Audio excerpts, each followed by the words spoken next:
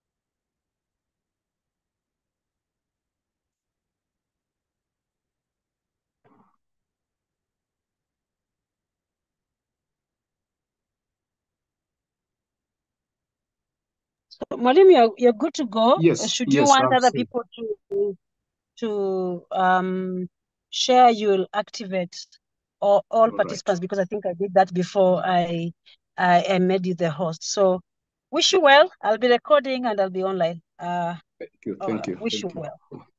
Okay, thank you, Daktari, and thank you. It's a pleasure too. So, class, how are you this evening?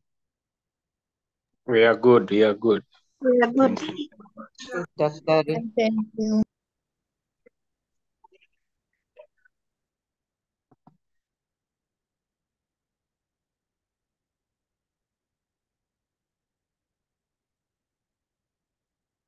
Just trying to share my screen.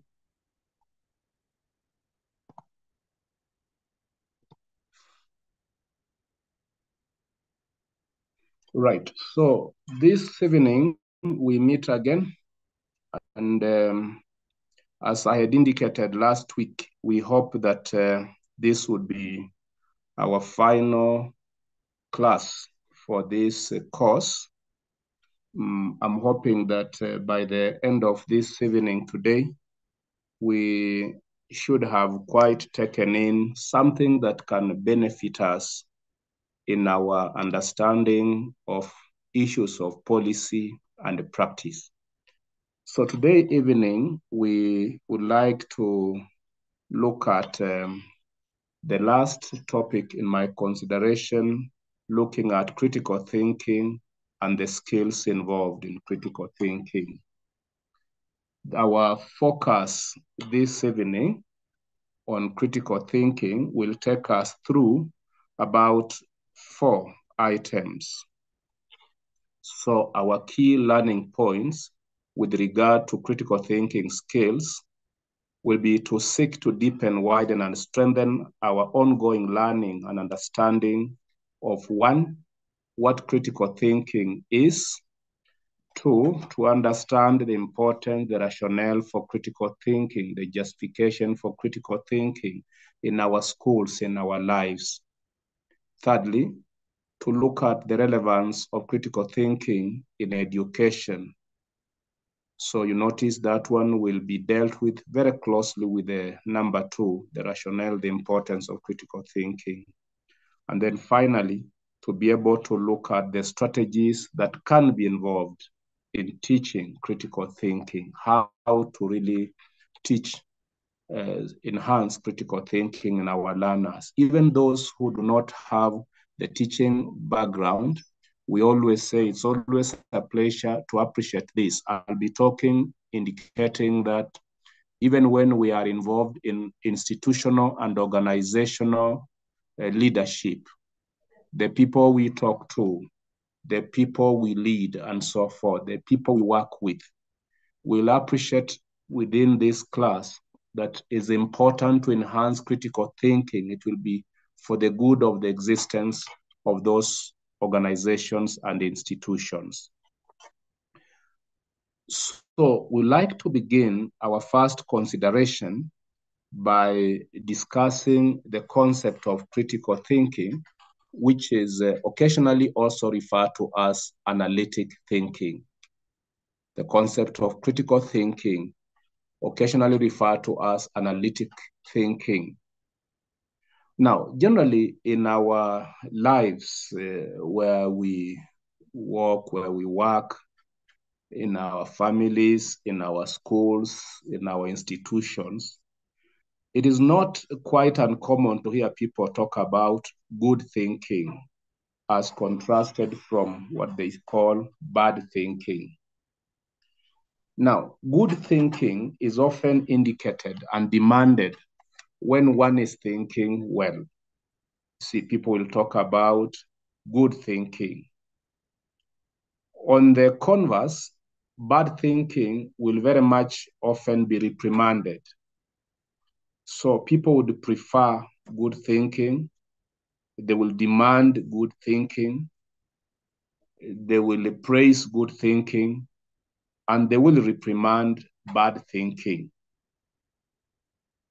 Now, Peter Facione in 2013 distinguishes good thinking from bad thinking, with bad thinking being responsible for all manner of human errors, both in thought and action. So Facione, looking at all this, indicates that we can distinguish bad thinking from good thinking, and he indicates that bad thinking is responsible for all human errors, all manner of human errors, is responsible for all manner of bad action.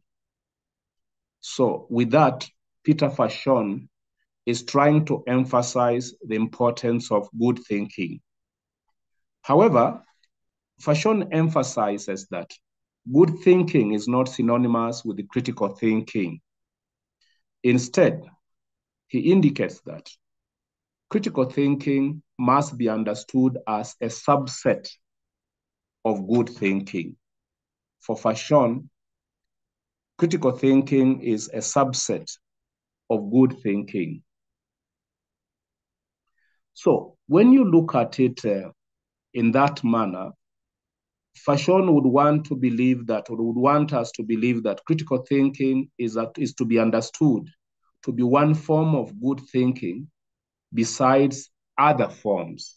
So that's what we mean by good think, uh, critical thinking being a subset of good thinking. It's as if to say there are other forms of good thinking besides critical thinking. And indeed, Facione mentions other forms would include what he refers to as creative thinking, innovative thinking, and so forth. So he's talking about all these other types. So he talks about creative thinking and uh, innovative thinking as examples of other forms of what we call really good thinking. Now, besides Facione, there are other thinkers like Paul and Elder who have contributed to this discussion. Thinkers like uh, Karakop 2016 who have contributed to this discussion. For instance, really from literature, Paul and Elder argue that critical thinking is about a process of assessing or judging, while creative thinking concerns a mastery over a process of making or producing. So for Elder and Paul, critical thinking is about assessing arguments, making decisions. So critical thinking is much more of assessing arguments while creative thinking for Paul and Elder concerns itself with a mastery of a process of making or producing something. So it's the creative, we, we sometimes talk about the creative power of the mind. Now, though not the same, these two types of thinking, that is creative thinking and critical thinking, are fundamentally inseparable they are always integrated together and more or less we can talk of them as being unitary. This indeed, in fact, uh, my dear friends, is the reason why critical thinking ought to be one of the most endorsed educational aims and ideals. In fact, is education of value for our learners, for our schools, is significant since it has the capacity to force and influence how we think and how we act. So much so that the way we operate, you see, we operate on the basis of how we are able to think critically. Sometimes we people say nobody can act above his thinking or her thinking. So critical thinking, therefore, remains exceedingly central in the process of a continuous individual development and the self-fulfillment.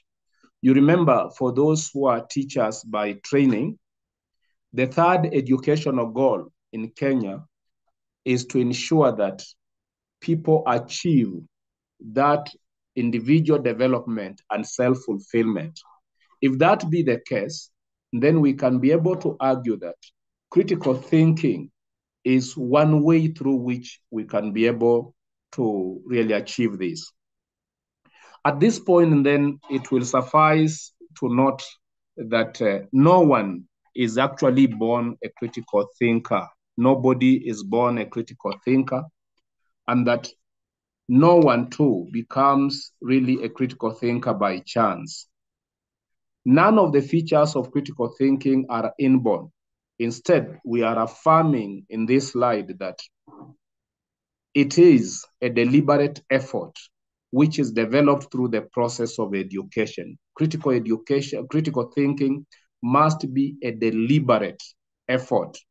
When you are a teacher in a school, you know, critical thinking will not just grow by itself in our learners. Critical thinking must involve a deliberate effort on our part as teachers. If you are talking about our learners, you must push those learners to the frontier of becoming critical thinkers. If indeed you are, for example, a, a head of a given institution, a CEO, whatever it is, working in an NGO, you realize from this discussion, it is always better to have those who work besides you become critical thinkers. And we are emphasizing they don't become critical thinkers by chance.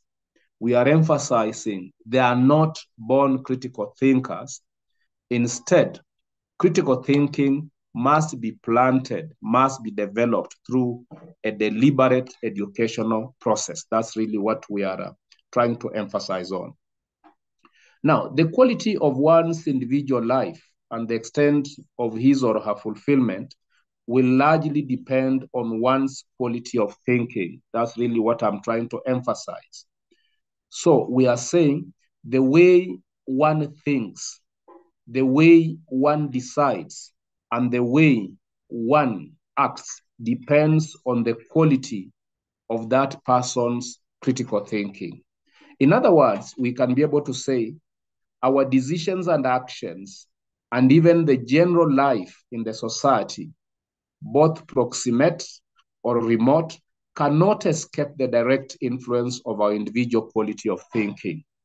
What people do in the society, the society we live in, you know, the leaders we choose, the actions we encounter in our organizations, in our schools, whether those actions, whether those decisions be seen to be proximate or remote, those decisions and actions cannot escape the gaze of the critical thinking levels of the people who work in these institutions. So, however, in spite of saying this, we are quick to say that this does not imply that critical thinking is a kind of a store, is a kind of a reservoir of fixed answers to life challenges. No. Critical thinking is not a product, is not something that is produced and kept in our minds. Critical thinking is not to be seen as a store in our minds, which is a reservoir, a reservoir of teaching. So that what, what we are saying here and then, how do we understand, how do we look at critical thinking? We understand critical thinking as a disposition to suspend all judgments until all the prevailing reasons and options are adjudicated before the court of reason. So we are trying to develop in this slide our understanding of that concept, critical thinking. What is it? It is not a store of answers to our problems. It's not a reservoir of answers to our problems. Instead, it must be understood as a general rational disposition that somebody achieves so that he or she he, he or she is able to suspend all judgments until all the prevailing reasons and options are adjudicated before the court of reason. It does not mean that learners instructed in an educational program which is inclined towards critical thinking are normally given the answer to the solution to the challenges that they'll face in life. No, it should be remembered at this point that today's problems and the challenges may not necessarily be replicated in the future lives or in the future adult lives of our learners. So we are saying, therefore, the principles of critical education, in any case, rejects the supposition that we can pretend to teach learners to memorize the solutions to the problems they encounter. Nevertheless, as um, Ademi 2012 would rightly put it, daily and future success heavily depends on the quality of today's education. Therefore, this is the reason why we say critical thinking is one of those requisite educational tools that empowers a learner to become a very effective problem solver, regardless of his nature, time, and place. When we empower the learner in critical thinking skills, that learner is becoming tomorrow a citizen who will join the various facets of society.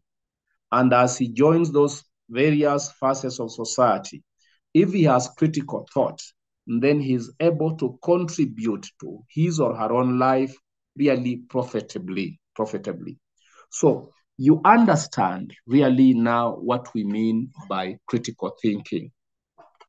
I don't know whether somebody would wish to have an observation at this point of simply understanding the concept. We'll later be moving to struggle to define what critical thinking now is. Here we are trying to put what critical thinking is in perspective. Anybody just in case?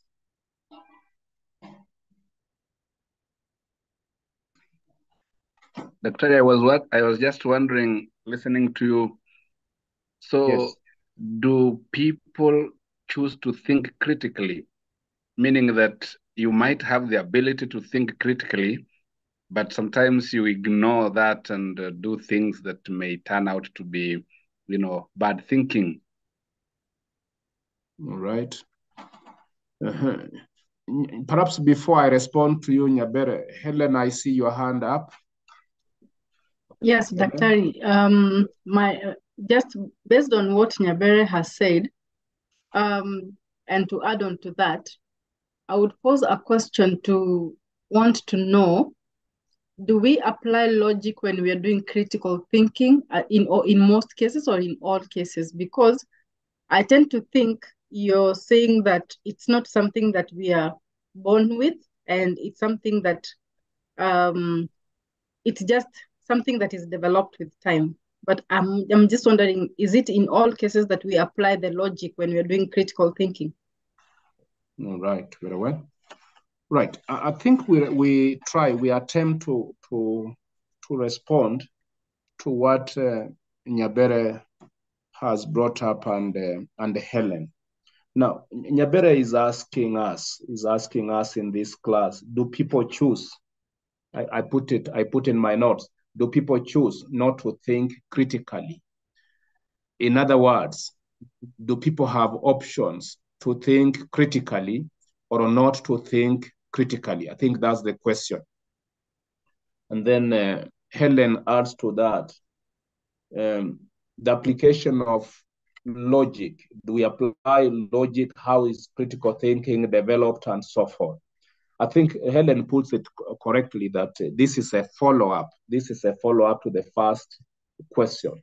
Now, my, my thinking is you see, we have presented in this discussion a conception that uh, critical thinking is not a reservoir, is not a store of a store that is made up of nails, hammers, you know, jembe, you know, panga, stones, sticks, so that uh, we would be able to say, do we choose this time to to fasten the nail using a stone from this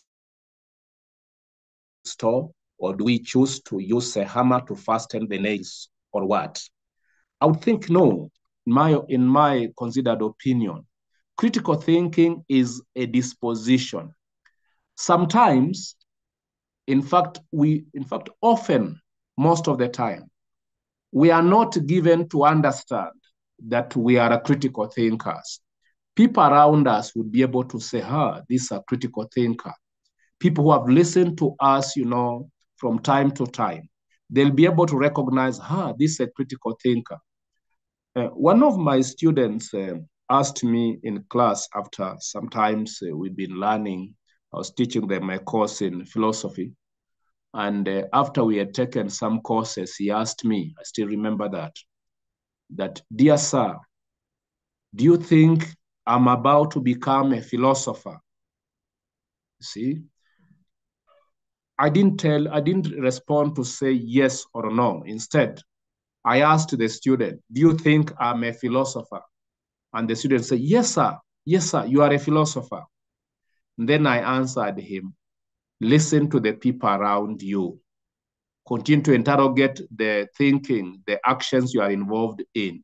And I said, you never realized when you become a philosopher. I would say the same thing to critical thinking. Critical thinking is a disposition.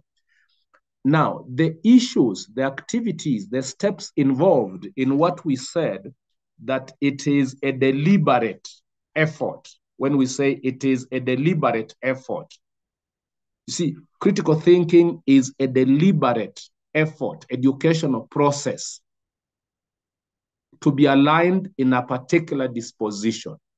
Those efforts are deliberate, but really the disposition itself, when it comes in, you start behaving in that disposition. So you see, our thinking will be good or bad depending on the level to which critical thinking is involved. But I can see some participants here. Maybe we listen to some of them. Waruku.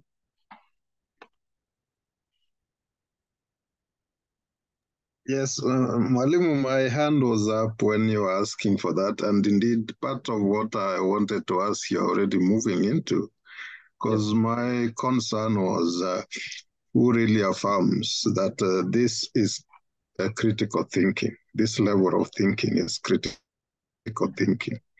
And I also wanted to verify or validate from you if uh, uh, uh, critical thinking is um, is is is is uh, contextual in that uh, a group that let me use the example i'm a fisherman and i every time um, uh, i have my holiday um, around migingo i do fishing and uh, when you do fishing you know that group of my fishing friends and all that you'd always find that uh, they, they really appreciate the thinking that uh, each and every one of them holds. Um, but if you are a researcher from the University of Nairobi or now Daystar, and you go there and you'll start wondering whether is you start asking, is there somebody thinking? so I just wanted to uh, get and appreciate that uh, there, there are con contexts to uh, the categorization and who really affirms.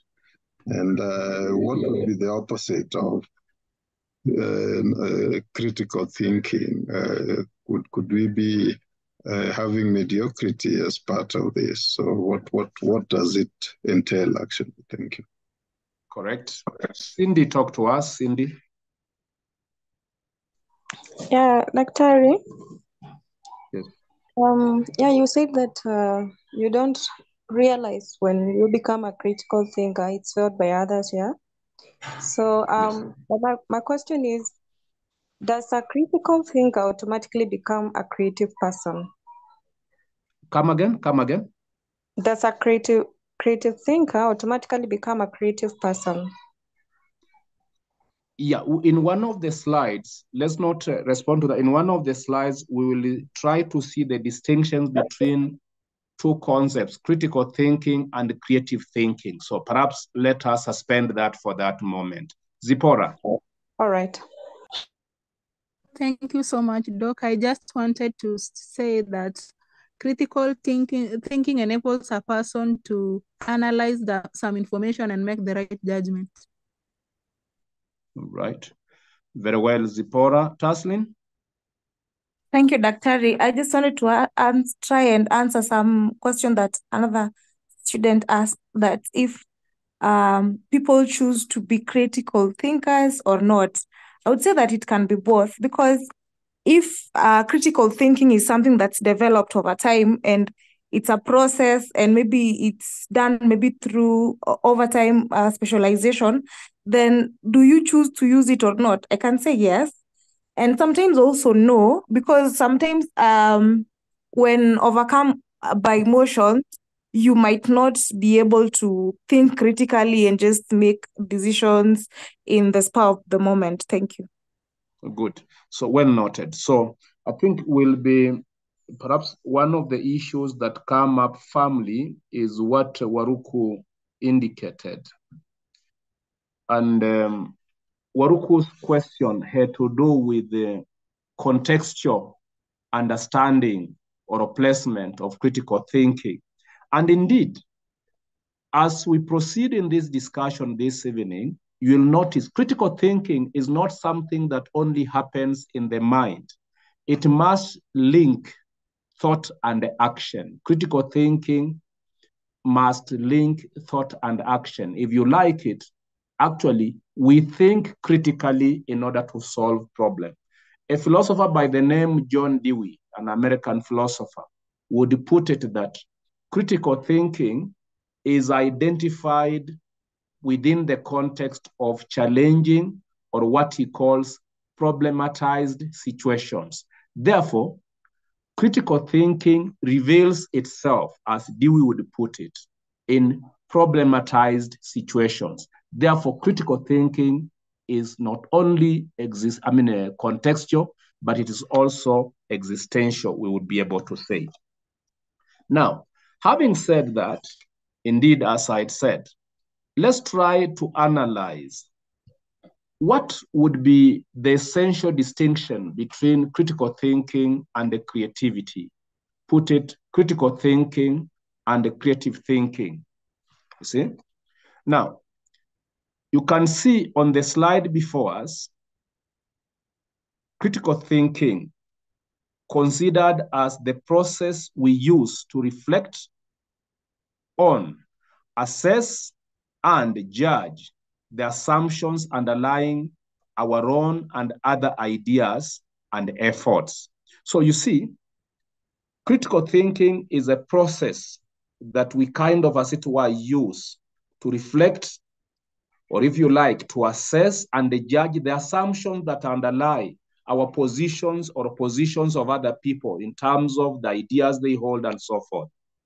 Now, when you look at the what we are calling creative thinking, creative thinking can be understood to be the process we use to develop ideas. You see, critical thinking, if you like, assesses, judges ideas, assesses, judges assumptions.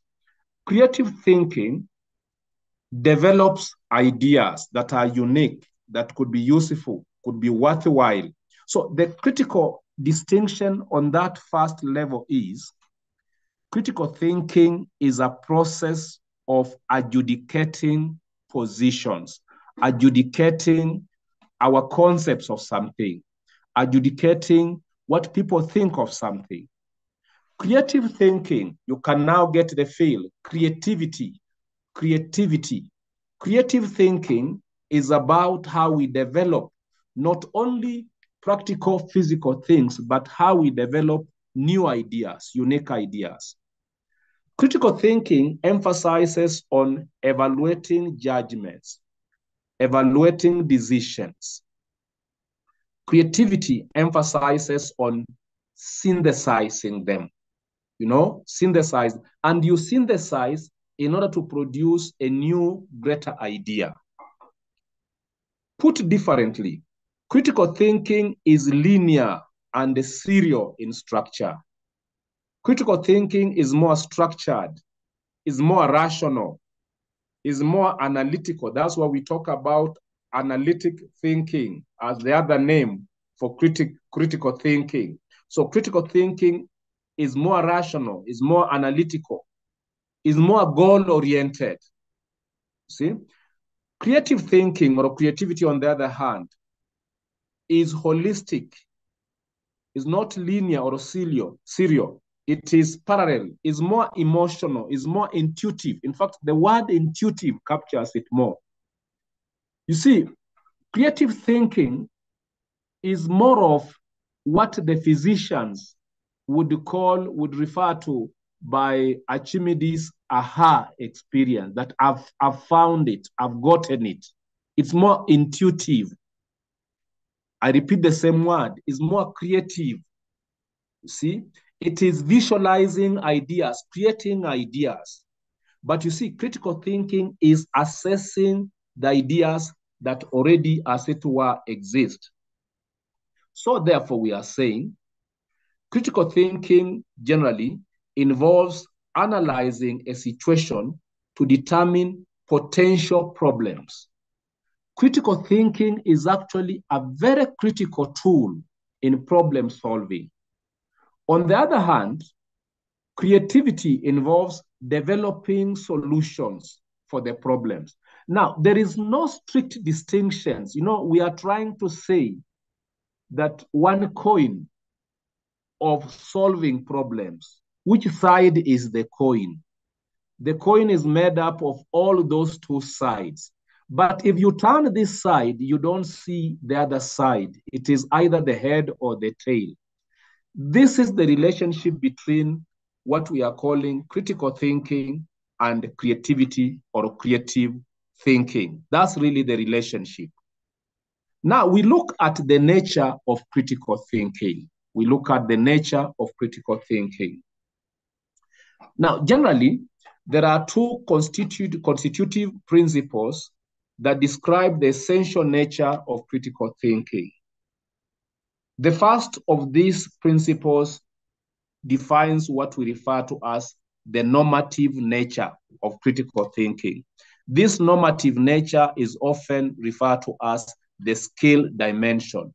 In other words, when Siegel 2010 refers to the normative nature as the skill dimension, he's simply saying looking at critical thinking as a skill. You see, if you want to say critical thinking is important in problem solving, then you want to look at critical thinking as a skill.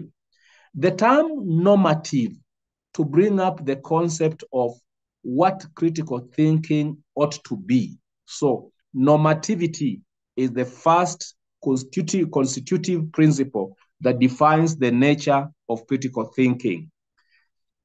The, the second one is what we refer to as the transformative effect.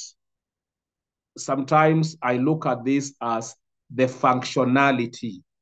So you are trying to ask, or rather tell yourself, two constitutive principles of critical thinking. The first constitutive principle is normativity, which says what critical thinking ought to be. Now, the second constitutive principle is the transformative element part of it. If you like, this is the functionality of critical thinking. So normativity, what it ought to be, transformative effect, what it does. These two components constitute the two principles that define the nature of critical thinking. We look at the first one, that is the normative nature, the skill dimension, as Siegel 2010 would put it. Now, for Peter Facione 2013, uh, critical thinking would be seen to refer to the core cognitive abilities, the core cognitive abilities. So when you're talking about normativity, you are talking about what are the core cognitive abilities that define critical thinking. What ought to be the, the, the, the dispositions that defines critical thinking? So the normative nature of critical thinking normally clarifies and defines what critical thinking, as it were, ought to be. For Norris, 1985, this principle defines critical thinking as an educational ideal which is founded on rationality.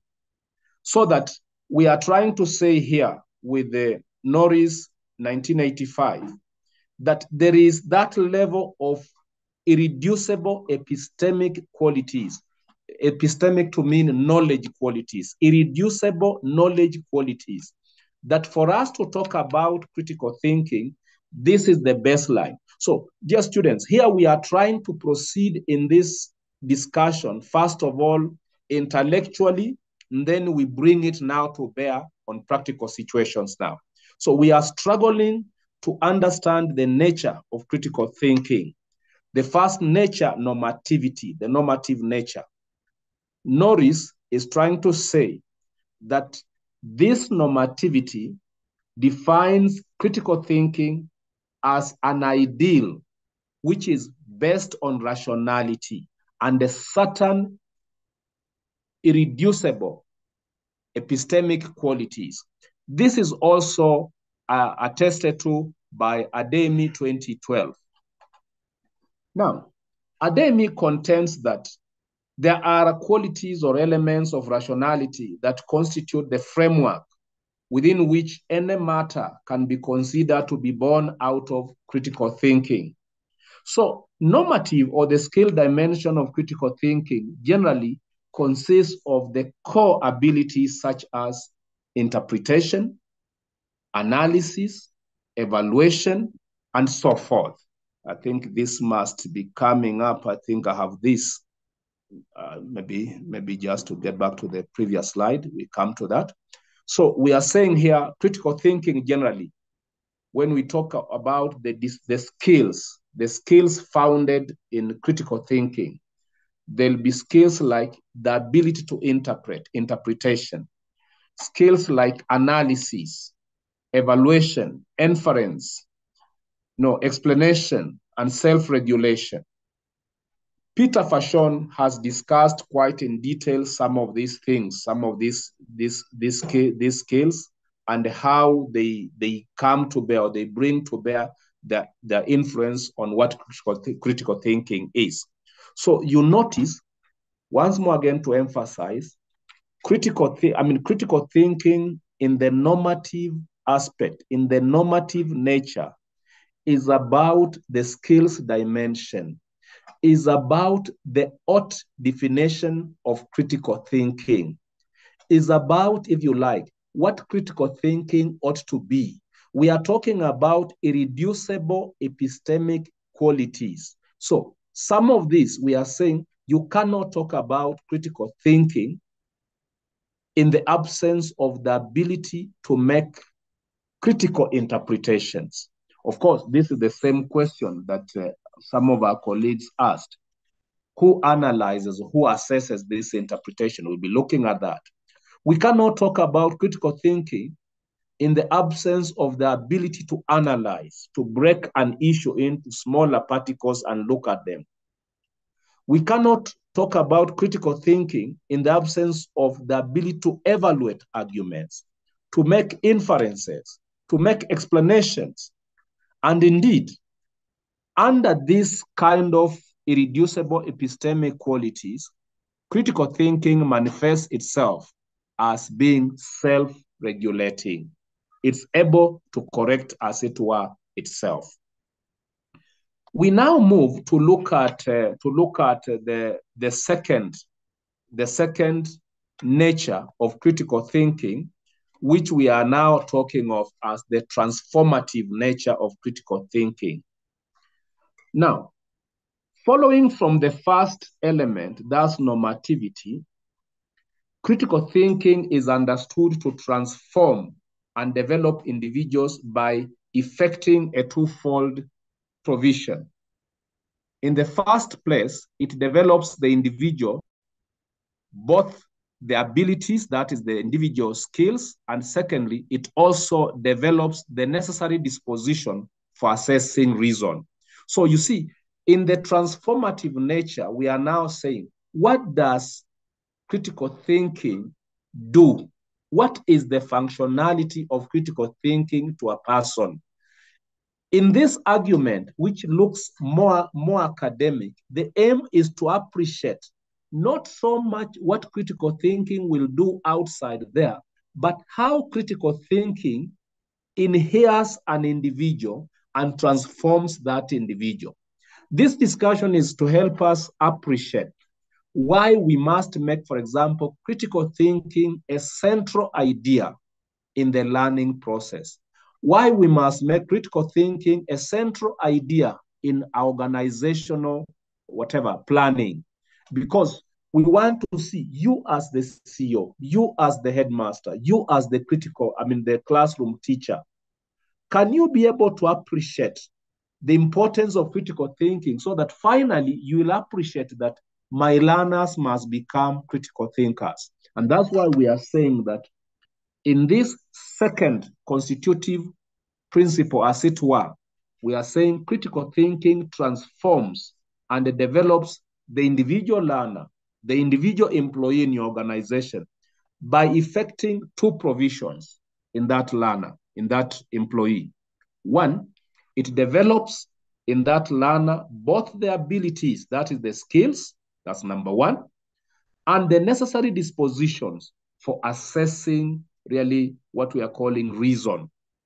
That is why we said critical thinking by nature is self-regulating because it provides the abilities and it provides the dispositions that will enable this person to be able to assess even his own positions there is uh, essentially no overlap actually between these two aspects. That's the normative aspects or aspect of critical thinking and easy development of transformational skills in the individual.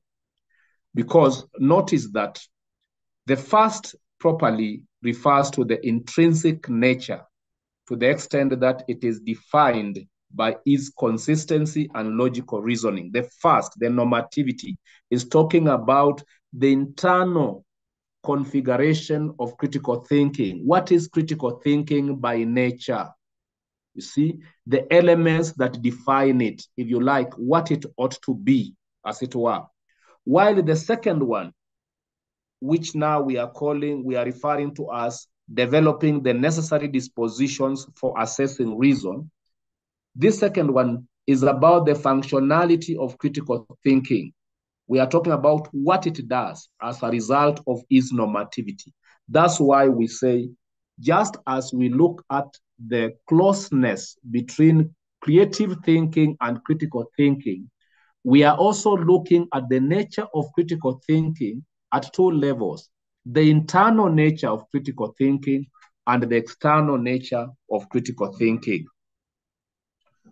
For Ademi 2012, he would argue that besides the requisite cognitive abilities, which actually define normativity, critical thinking develops what he calls the necessary dispositions that become an intellectual criterion of assessing reason. That, that's how uh, Ademi would look at it.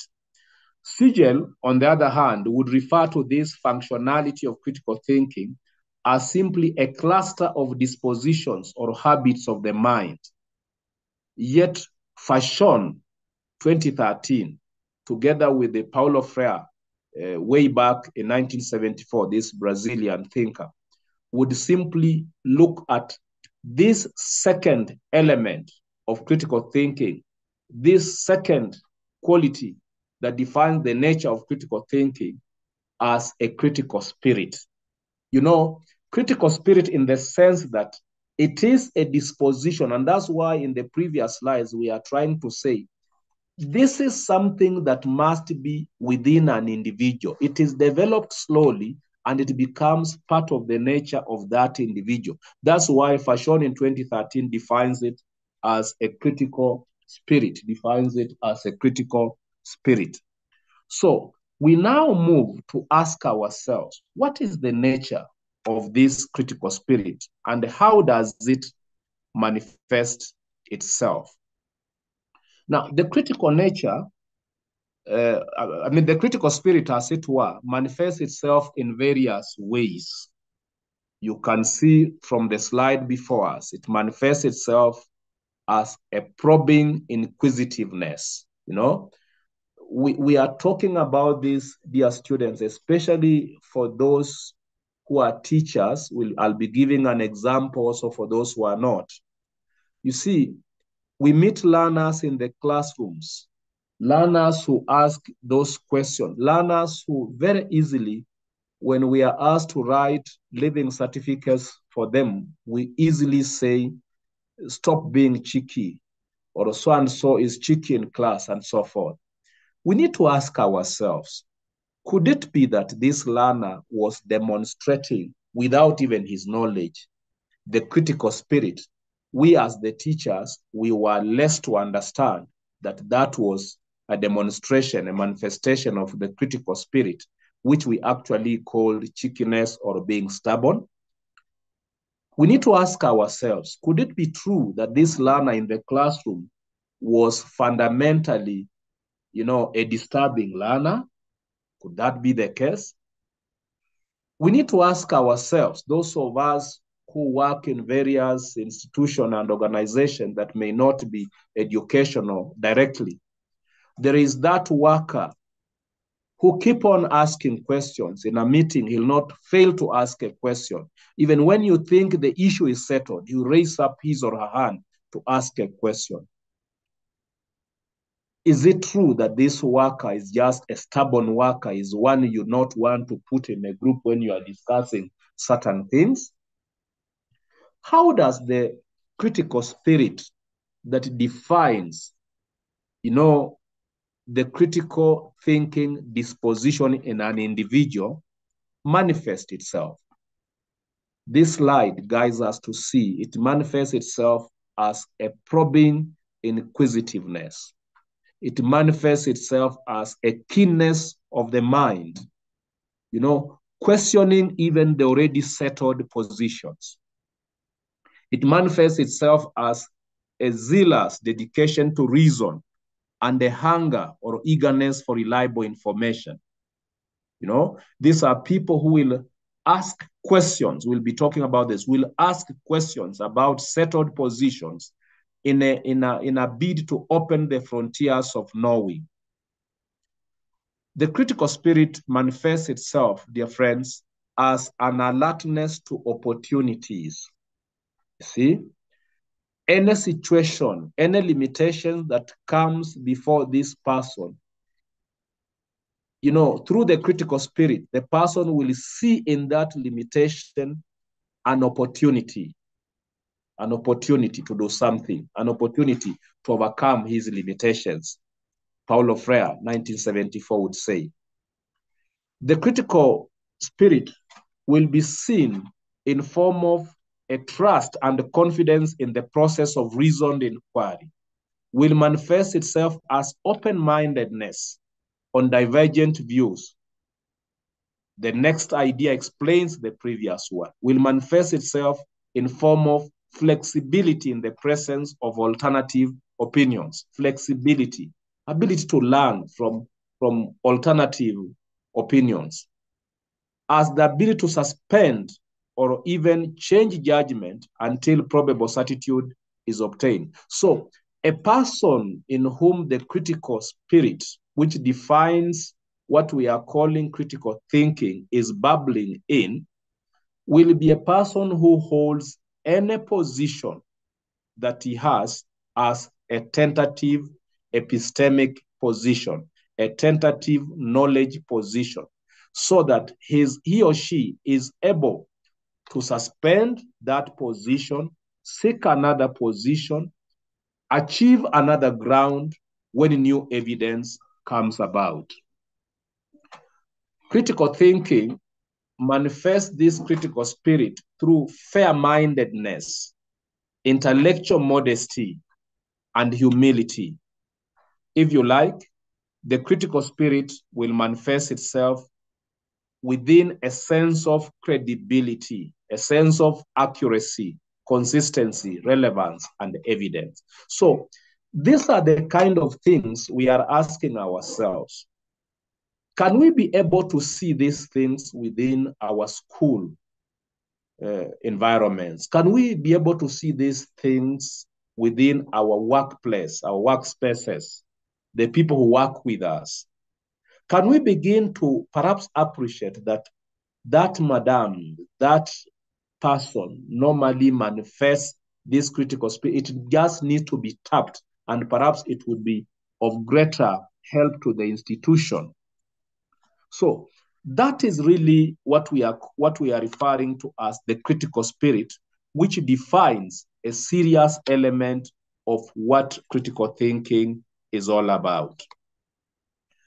We now focus still more on this critical thinking and uh, quoting quoting um, quoting who is this Quote, quoting Norris uh, 1985 Norris gives us three main operational features but perhaps before we go far let us listen to Regina did I see Regina Whiter Regina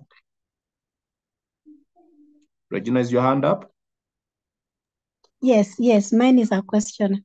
Yes, please. good evening. Yes, good evening to you. I was just wondering, this Yes. critical spirit, is it in the mind of everyone? And if not, how can a teacher develop uh, the critical thinking in a learner?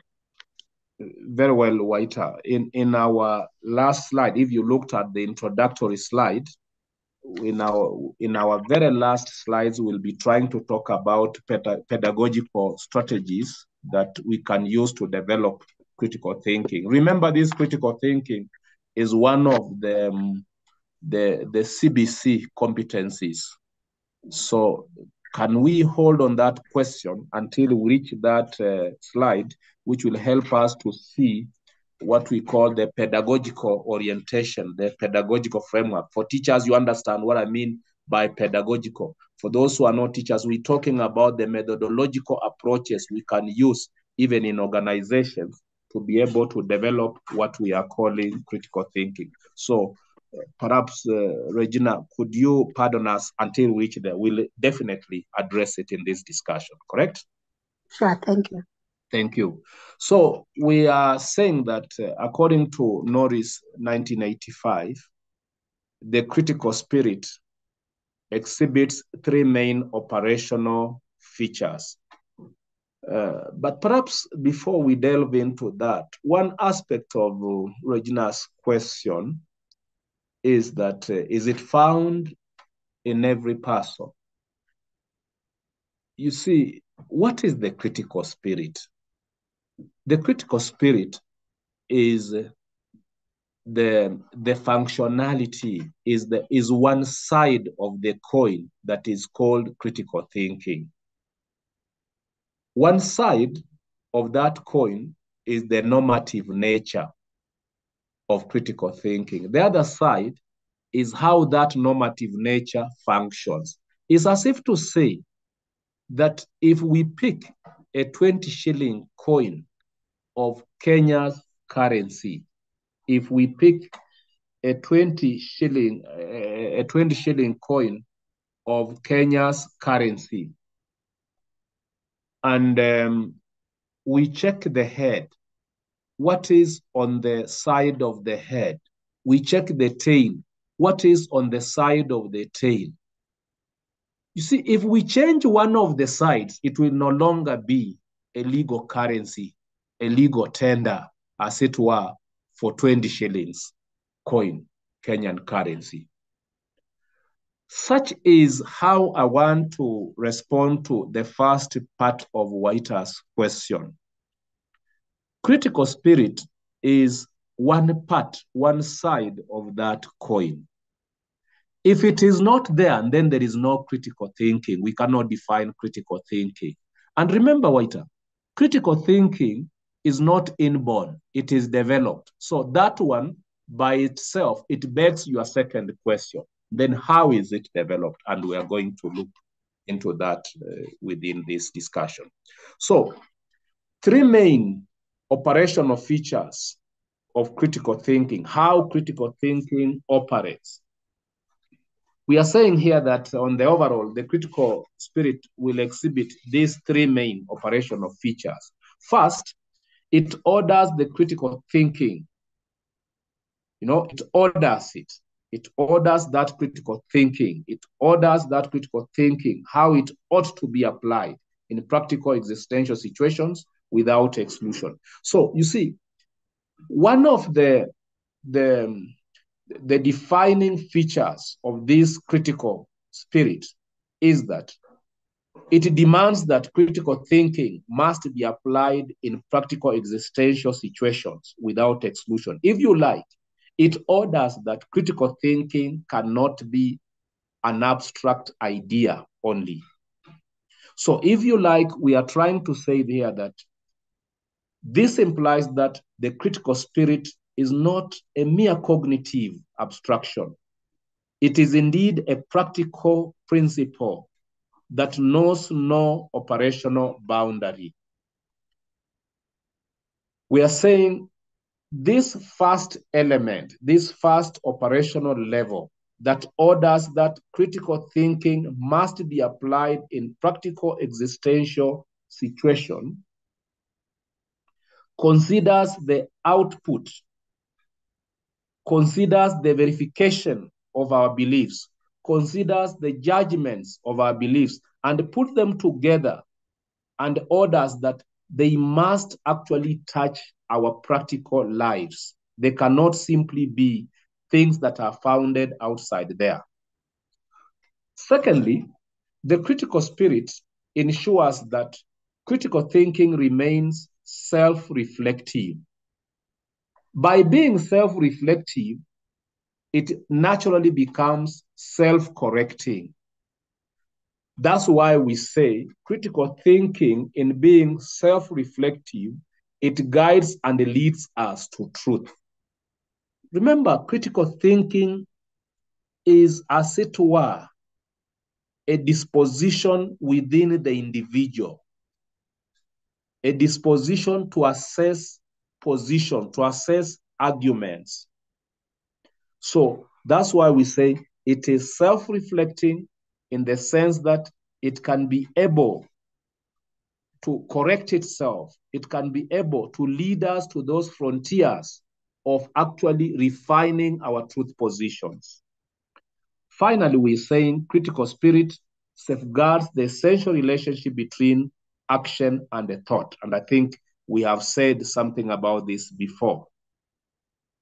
So you see, critical thinking, we are repeating it, is not actually something we talk about just, you know, you are thinking, your mind, critical thinking. No, it links actually thought and action. It orders that action and the thought must be linked.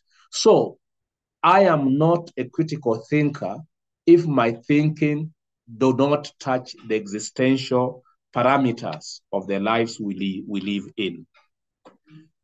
We now finish this discussion at this level by attempting now to define what critical thinking is. So let's now move towards a definition of what critical thinking is. Now, before we look at this, we need to observe that um, a sound definition of critical thinking must be hinged on its nature. That when we are talking about critical thinking, we must be able to look at those two elements that define its nature. Therefore, quite a number of researchers, you know, see that unity of thought and action in an attempt to define what critical thinking is. For instance, Peter Facione eh, has defined critical thinking as a purposeful, reflective judgment which manifests itself in reasoned consideration of evidence context, methods, standards, and conceptualization in deciding what to believe or what to do. This verbatim citation from Peter Facione, 2013, touches partly on one, what Waruku indicated at the beginning of this lecture about the contextualization of critical thinking. We need to repeat this one again and just see what does it mean. Critical thinking is defined by Facione as a purposeful, a reflective judgment which manifests itself in reasoned consideration of evidence. So you see, in critical thinking, we have a purposeful, reflective judgment. In critical thinking, we are bringing out our best reasoned, you know, consideration of evidence. In critical thinking, we are reflecting about a practical, if you like, an existential, if you like, context. In critical thinking, we are now looking at the method, the standards, and the conceptualization that will help us to decide two things very critical in understanding critical thinking. Decide what to believe and what to do. Those two concepts show us the close relationship between thought and action. What to believe, thought. What to do, action. So that is Facione talking to us. Now, Harvey Siegel, Siegel, 2010, conceives now critical thinking as a reasonable, reflective thinking that is focused on deciding what to believe and do. You get again those elements coming in. A, reason, a, a reasonable, reflective thinking that is focused on deciding what to believe and what to do.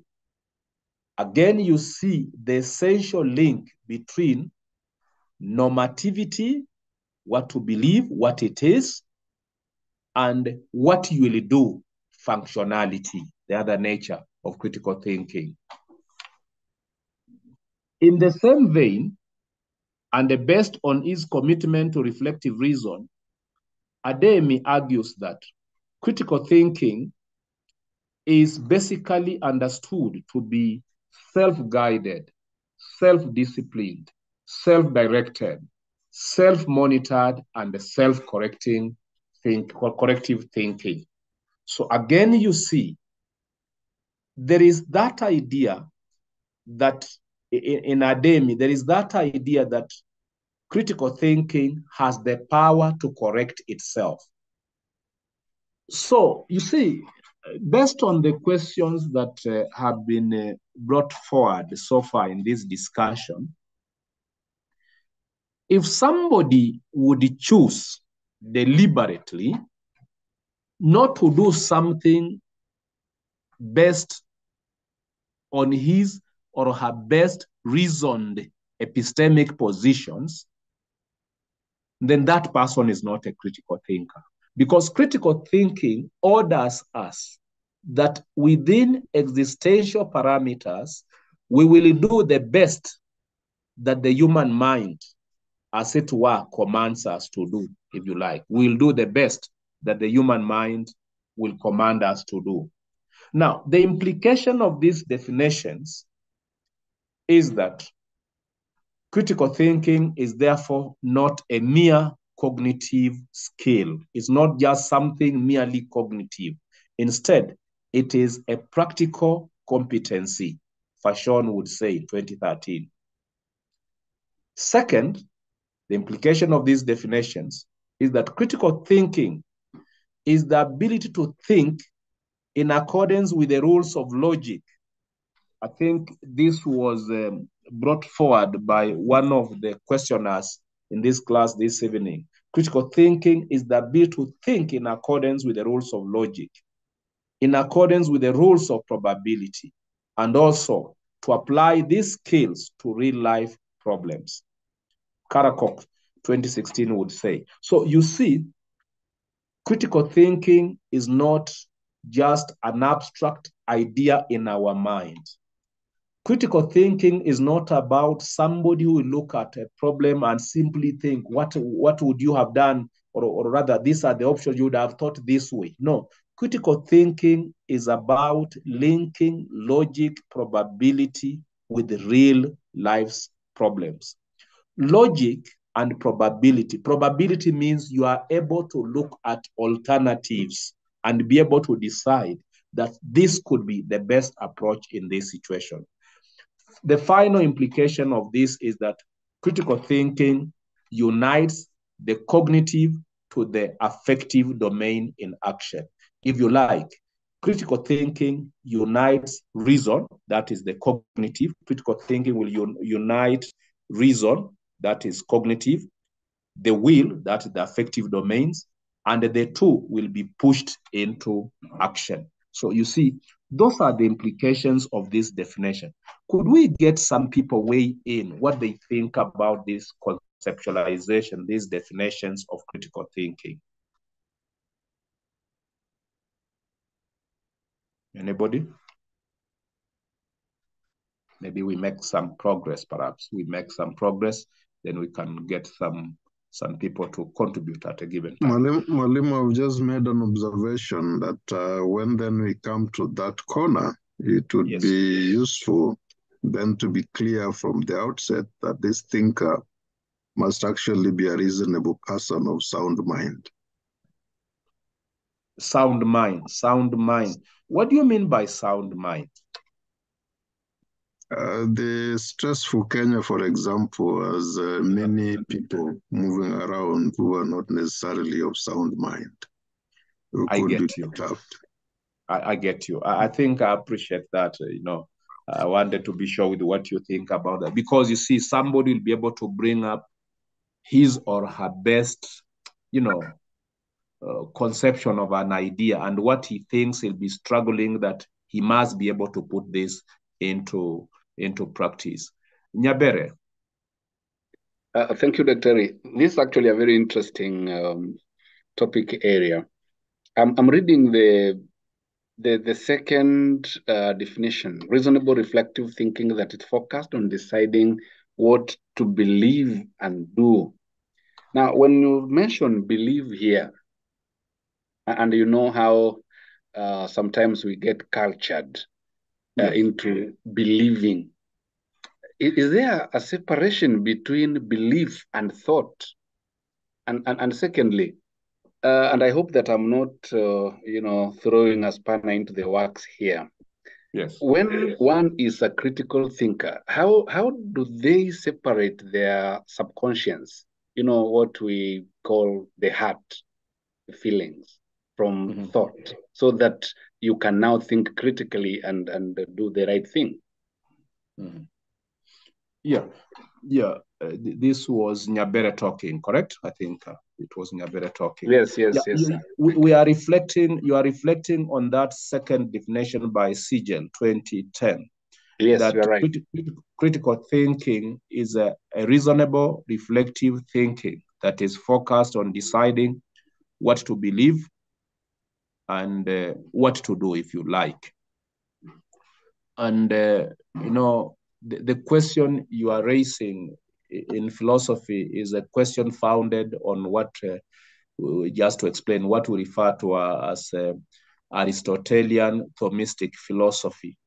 You know, the relationship between, and you know, that one comes, you see the last, the last, um, the last implication unites the cognitive to the affective domains in action. You get that, Nyabere? Yeah, yeah, I can see the, the, the, the two uh, domains. Yes, the cognitive and the affective.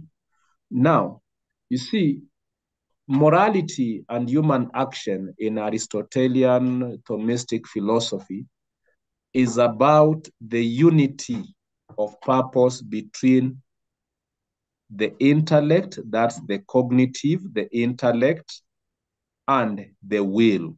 When we talk about the cognitive, we are talking about the intellect.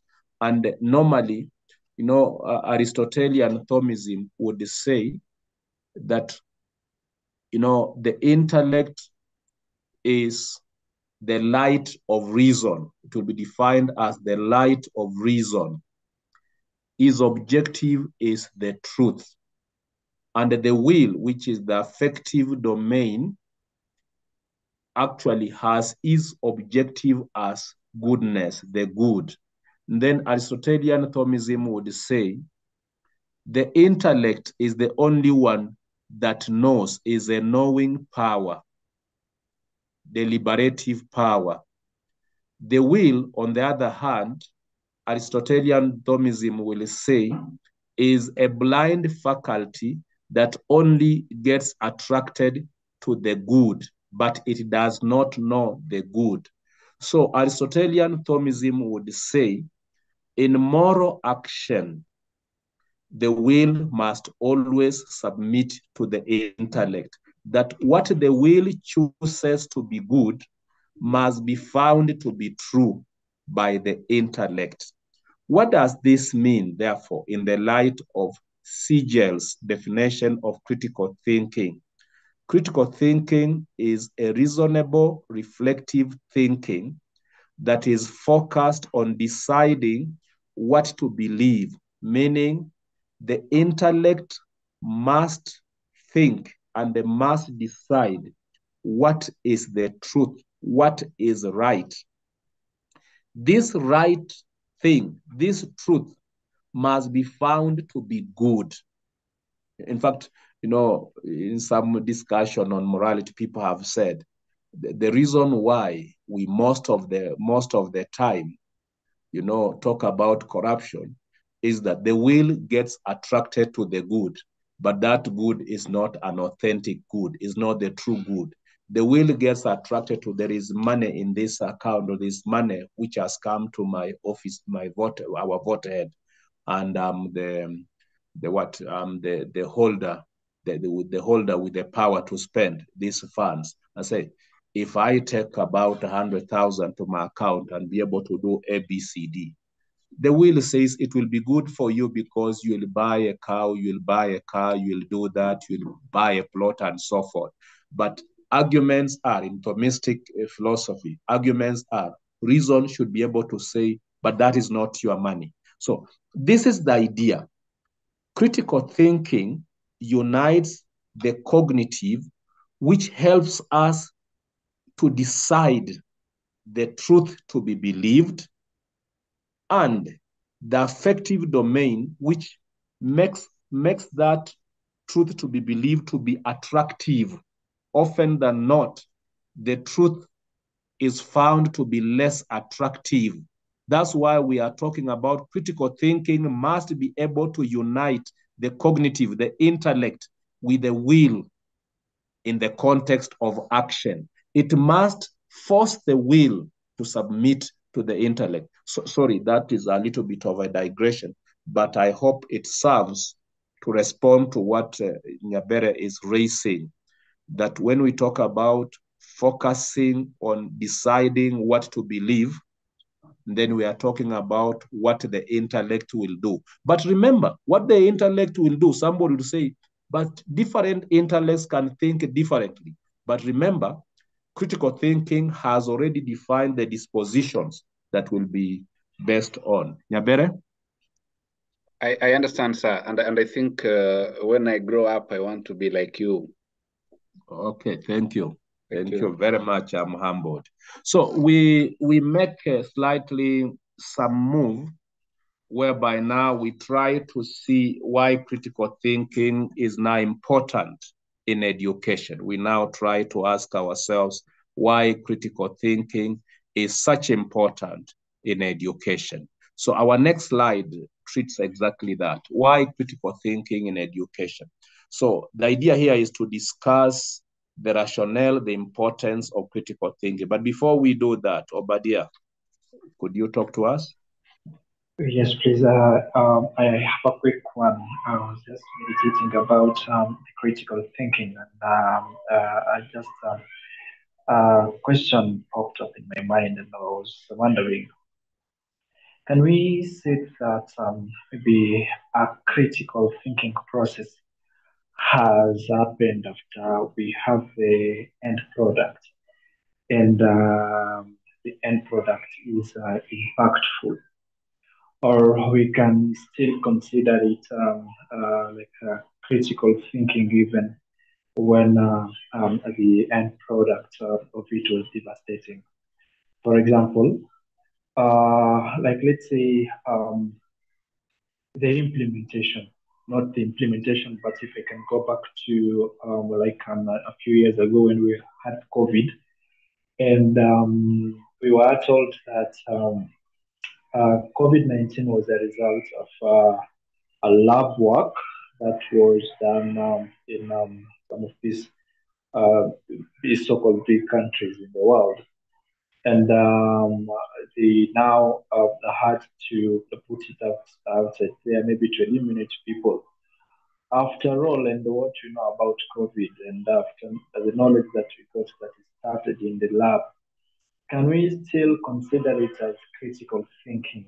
Like uh, these are critical thinkers uh, uh, who did this, the same job, or um, uh, critical thinking should only result to a positive, a positive discovery or a positive conclusion. What is your take, Malima?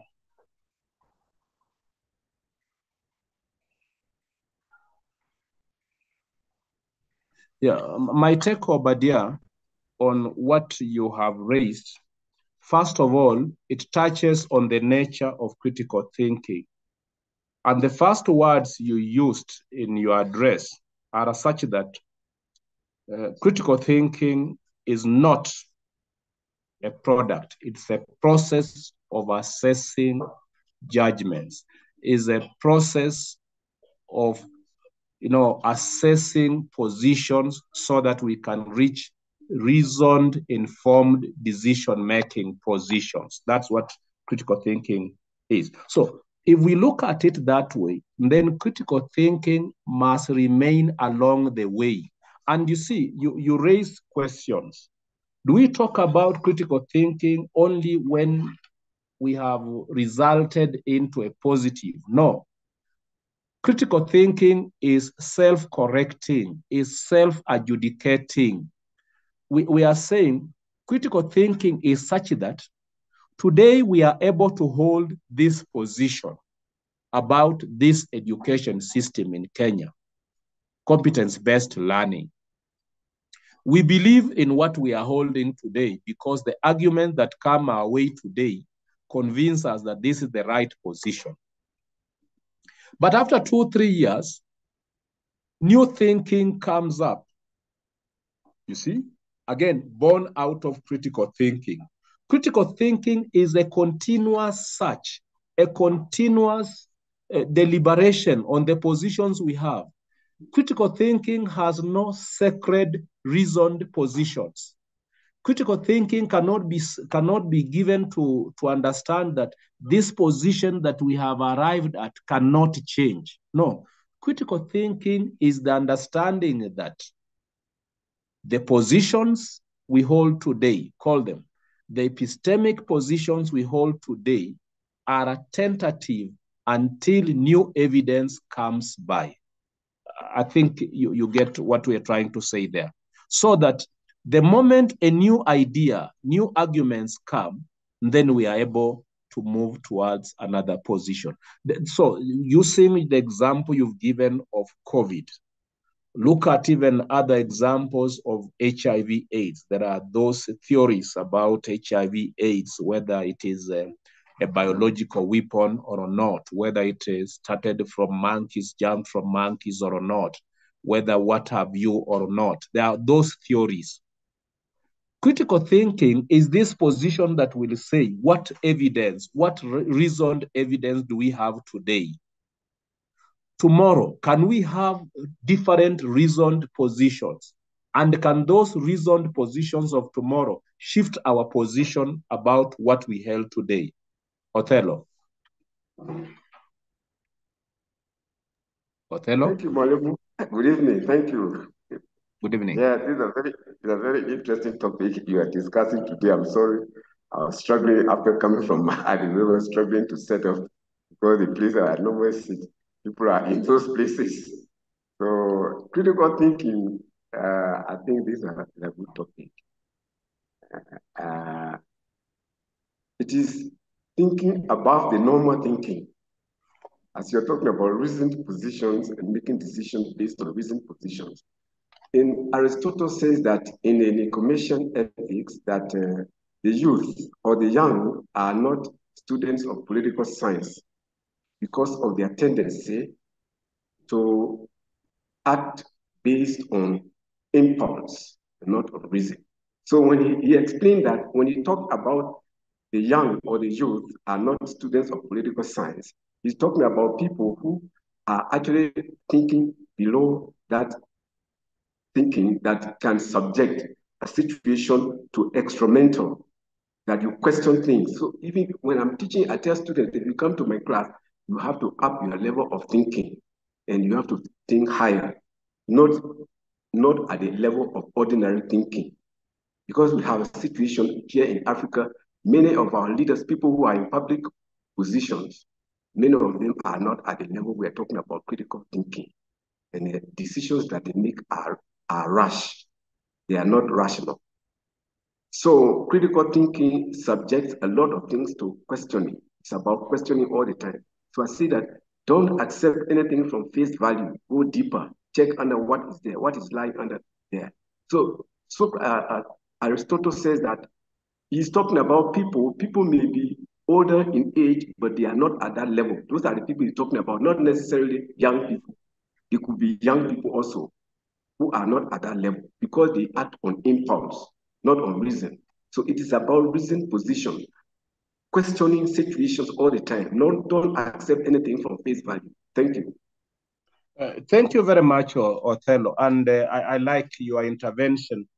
And um, we can quote so many authors, like um, there is a Canadian philosopher, Bernard Lonergan, who would be able to inter, interject in our discussion and would tell us that we are talking about achieving what he calls heightened level of consciousness, a heightened level of consciousness. Paulo Freire, a, Brazilian uh, thinker, educational thinker, would call it we are reaching a level of critical consciousness. And, and I think it's in that context that Othello, in fact, you brought forth the term we've been trying to look for. That somebody asked in this class, what would we refer to? That concept, which would be the opposite of critical thinking. What would be the opposite of critical thinking? You know, I was about to say it's bad thinking, but Othello, you've helped us. It's not bad thinking. I think the opposite of critical thinking is ordinary thinking. What do you think of the Othello? Yes, bro, that is what I'm talking about. Ordinary thinking. You are you are just thinking on the surface. You are not able Yeah. to go deeper below the surface and Good. gather information. Thank you. Good. So I think that's what we're talking about. So I think your intervention helps us to focus on what we can refer to as the opposite of critical thinking, ordinary way of thinking. And the way I put it, that uh, people like Paulo Freire in, uh, in, in his writings would talk about you know, ordinary minds. We are talking about ordinary minds as opposed to critical minds, minds that are informed or modeled in the context of critical consciousness. So these are the, the kind of dispositions we're talking about. Now, let's look at um, why we need critical thinking in education. We want to see if we can uh, give a justification for the inclusion of critical thinking in educational programs. Now, I'll be I'll be approaching the remaining part of this discussion at those two levels. One, we will try to justify why critical thinking in education and also will try to justify why critical thinking in the ordinary workplace that may not necessarily be educational setting. So we, we look at this slide, the rationale, the importance for critical thinking, and especially in educational environments. You see, the question that we like to focus on at this point is this why should critical thinking be regarded as an important educational ideal, if you like? And how is this related to individual development and self-fulfillment, especially of the learner, talking about, for example, educational goals in Kenya, the third goal, which is individual development and self-fulfillment. How can critical thinking be related to that? how important is critical thinking as an educational ideal, you like?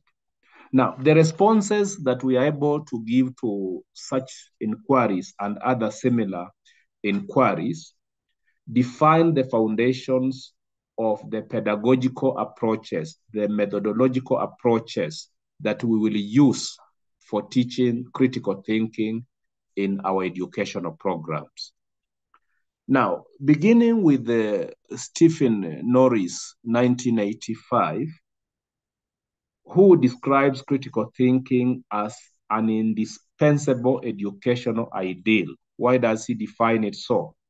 Because being able to think critically, Norris would say, is a necessary condition for being educated. You hear Norris talking being able to think critically for Norris. It is actually an indispensable. In Latin, we call it, it is a conditio sine qua non for claiming to be educated. For Norris, this ideal is embedded in the learner's individual right to question, to challenge, and demand reasons and justification for what is being taught. You see, learners have a right to question. Learners have individual intrinsic right to challenge. In fact, if you like it, what Norris is saying, as it were, is what we want to say that critical thinking abhors indoctrination. Critical thinking empowers the individual. Now, viewed as subjects and not objects who exist as independent centers of consciousness, Siegel would say that learners ought to be treated, you know, treated with that respect, ought to be treated with utmost respect, capable of determining their destiny. So much so that we can now be able to say investing in the growth of our learners' individual ability to think critically and indeed promoting its actuality is one of those direct ways of respecting our learners. So you notice, obviously, such positions will abhor an approach that looks at education in the context of rote memorization, in the context of indoctrination. So you notice this argument leads us now to affirm the liberative role of critical thinking. We affirm that critical thinking indeed liberates the learners, liberates individuals, liberates the workers within your organization from what I'm terming here as the caves of mental and social slavery, which are created by uncritical societal and educational practices. Such may include what I'm raising here, things like pedagogies that border on rote memorization. When we go to class, we ask learners to say it after us. We ask them questions and we want those questions, they must bring forth what we told them. Some of our learners will grow to know that teacher so and so, when he asks questions, you better only answer what he gave us in class. If you add on something, you will fail. Rote memorization. Critical thinking liberates our classrooms, liberates our workplace from indoctrination. And you'll be thinking, as an institution, as an organization, what do you stand to benefit when your workers are critical thinkers? We'll be saying later, they'll become problem solvers. If they are not, they'll wait upon you. You must be able to bring the solution to their problems. And I think that's why, just to repeat Siegel 2010, that's why he's repeating and emphasizing that critical thinking is part and parcel of the education's role of creating in learners a sense of individualized self through the process of developing and nourishing the critical spirit, which we, we actually talked about some moments ago. So in the same in the same line, we are trying to justify why critical thinking, and we observe that for Facione 2013, he understands that critical thinking liberates individuals. You see?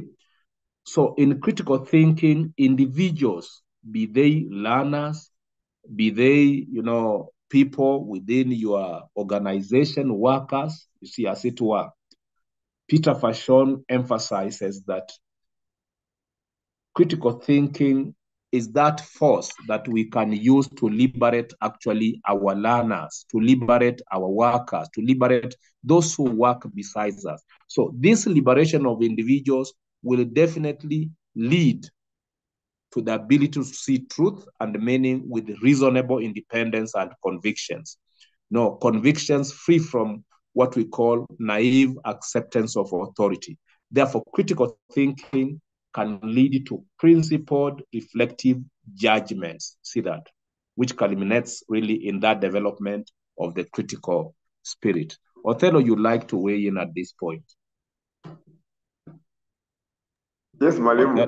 Yes. That it, uh, it's interesting. Uh, when you're talking about passive population, when we're dealing with passive population, the politicians actually are against educating the public, especially yes. the electorate. They because yes.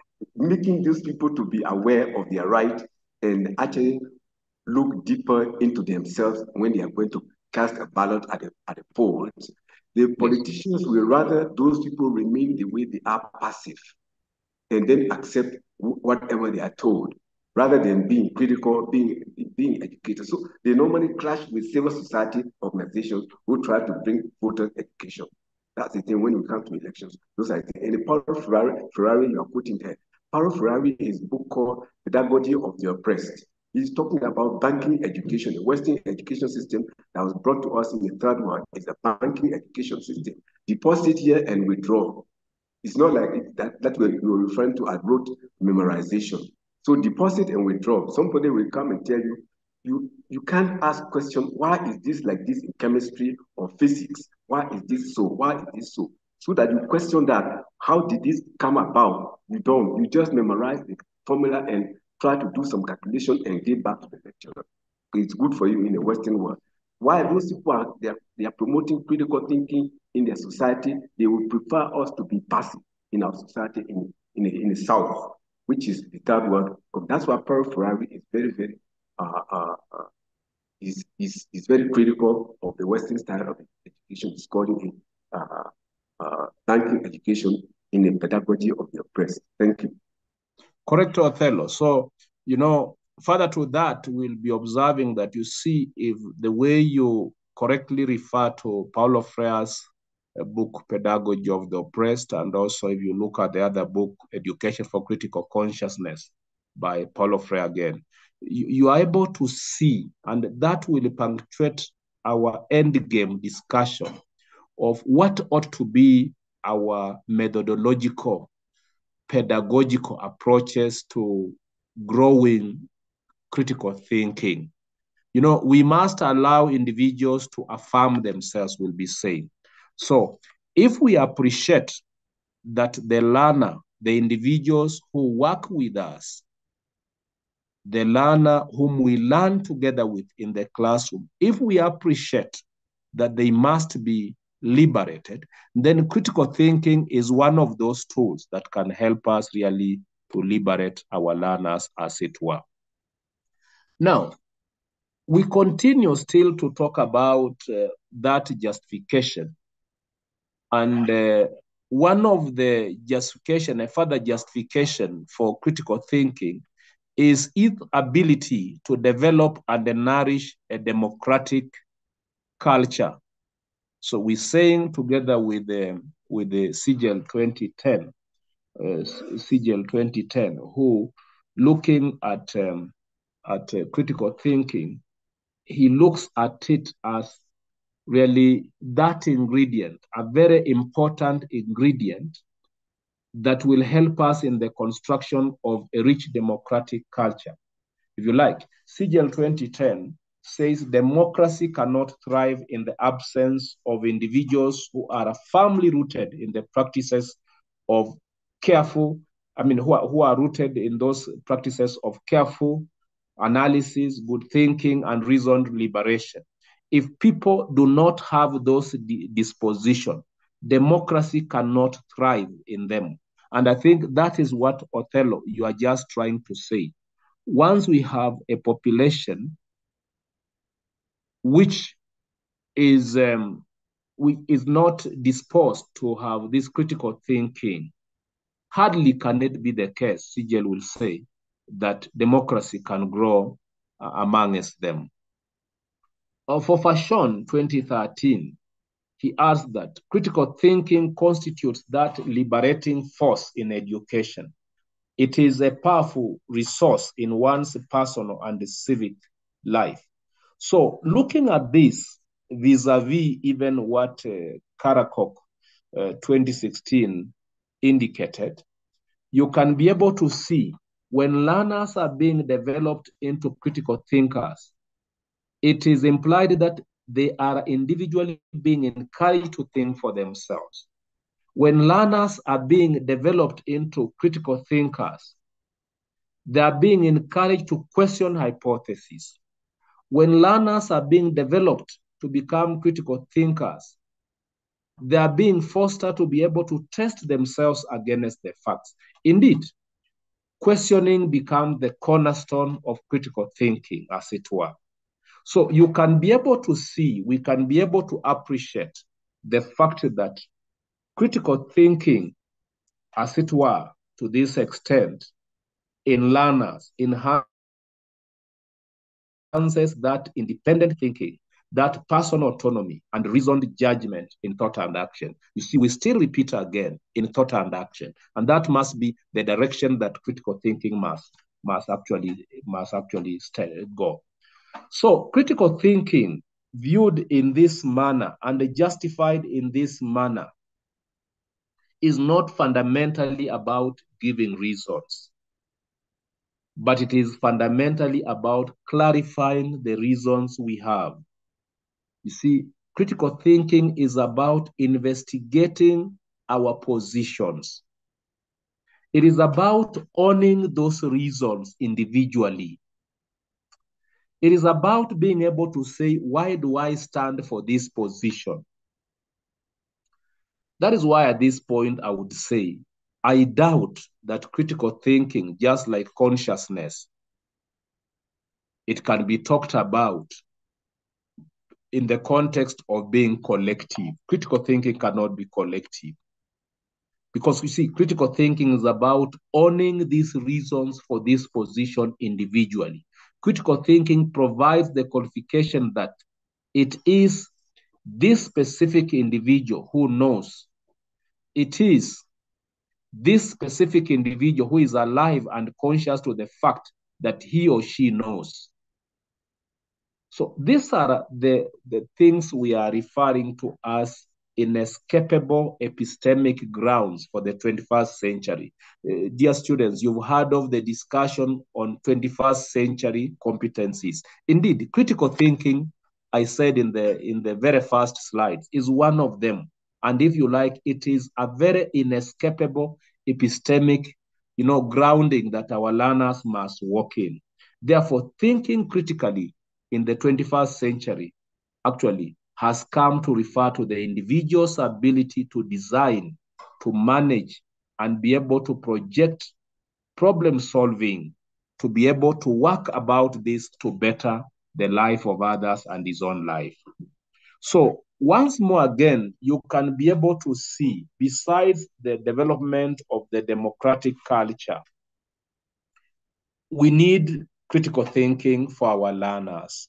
We need our learners to be able to learn to think for themselves. Nyerere was very good at this, developing learners who can be able to question the position they find. That is the only way we can talk about society developing. Now, having tried to, to justify, you know, critical thinking in the context of education, it is also important that we don't only end there, but we also struggle to justify what critical thinking is in the workplace. And um, just uh, talking about this author, Yaz Yazidi 2023, he has come up with a beautiful, beautiful writing that really addresses really some of these things in the workplace. But before that, perhaps uh, Nalondo, you would talk to us. I see your hand up. Nalondo. Oh, uh, thanks, Dr. I think uh, I raised my hand when I saw my brother Jimmy Sanya's question on how we can apply critical thinking in conflict resolution at workplace. Yes. And uh, I wanted to give a trial by saying that, um, as we've seen, critical thinking involves analyzing things. You know, a critical thinker will always analyze things objectively, uh, be able to consider all the situations on the table before coming up with the with the solution. And therefore, how this then uh, comes into play at workplaces that a critical thinker will analyze situations in the workplace. Uh, if you are a principal like he is, you will analyze the problems that have been brought to your table. You need to look at different perspectives of the problem, thoughtfully look for the solutions. And of course, a critical thinker will question, you need to question all both sides before you come up with the, the solution which will uh, help the conflicting parties to go out of your office when they're all satisfied. So it, it is all about analyzing the case before you, uh, questioning the incidences, and then making a judgment. Just the same as a judge in the court of law will apply critical thinking in making judgment of the case. Thank you, Doctor. Thank you very much. That's that voice sounds Wekesa. I saw the name Nalondo. Whatever. Yes, Wekesa. Nalondo, Nalondo, it's still me. It's Wekesa. Okay. Actually. Yeah, because I'm beginning to master some of the voices when they they talk. Yeah, so I think Wekesa, your your argument quite in order, and I think it is coming in timely when we want to talk about the place of critical thinking in the workplace so that uh, we don't remain at that level of just talking about critical thinking in the classroom. You see, these learners go to our schools, they are taught so that they can now go to that uh, marketplace, to that common place in our society, so that they can go to banks, they can go to wherever situations they find themselves. So that's why, finally, the critical thinking we talk about in our classrooms, in our schools, must finally be justified on the basis that do we need critical thinking in the workplace? Is it necessary anyway? No, that's the question we need to ask ourselves. So, thinking about the place of critical thinking in the in the Juliet, would you like to say something first before I move on? Yes, yes, thank yes, you. Please. Yes. Just a clarification. So, in other words, like you are talking about critical thinking, uh, its importance in a educational aspect. So, does it mean that uh, it is based on the knowledge that a learner has acquired now, it being applied? For example, when you come across a situation, what you learn, because I remember in the initial introduction, there was something like it is a process as uh, you go that through that learning process. So, is it based on that knowledge that you have acquired to help you in making decisions, or there is something else? Juliet, there is something else indeed. You are right. There is something else because mm. those people will have acquired those uh, that knowledge in the classroom together, but they'll be able to approach these things differently in life. You see, um, that element we said not inborn. There must be a deliberate effort. I'm trying to hold myself not to say much, Juliet, at this point because I think uh, in a slide that is coming maybe after this one, I think in the in the final 13th slide, we'll be talking about you know certain approaches that the teacher must use in that classroom to be seen to be growing critical thinking. We'll be we'll be arguing that you see there is no way there is no way that uh, you simply say uh, people become critical thinkers or learners become critical thinkers in that classroom by chance. No, we, we, we, we clarified two things at the beginning of our discussion. One, critical thinking is not inborn. And the two, we clarified, critical thinking is not developed by chance.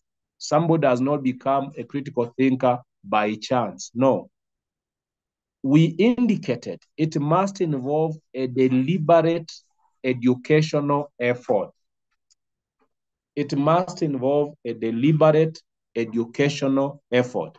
So, this deliberate educational effort will not be based simply on, on, on content achieved. Because you see, people are going to classrooms, they are learning mathematics, they are learning chemistry, physics, English, literature, whatever, history, and so forth. But in the real life, they'll be called upon to become critical thinkers, to do two things. One, to make decisions on what they believe, and the two, to make decisions on what they ought to do and what they ought not to do. And you see, these things will not be confined in simply the content, the cognitive content achieved. And that's why we'll be talking in the next slide about the extra effort that must happen in a school setting must happen in a class setting that will work towards growing critical thinking. We'll be indicating how some of those efforts also can be used outside educational settings. So perhaps, uh, Juliet, can we hold on that and then move? All right.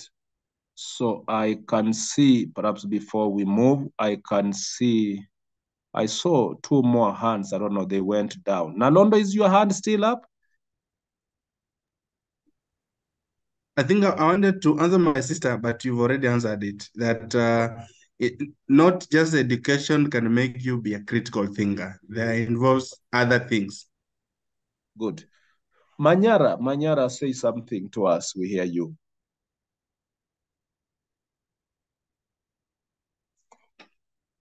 Did I see the hand of Charles Manyara up?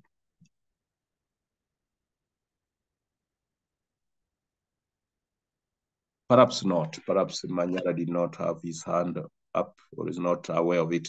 So we we, we try to move on. Good, good evening, Daktari. Good evening, Manyara. Hello? How are you? Yeah, fine, thank you.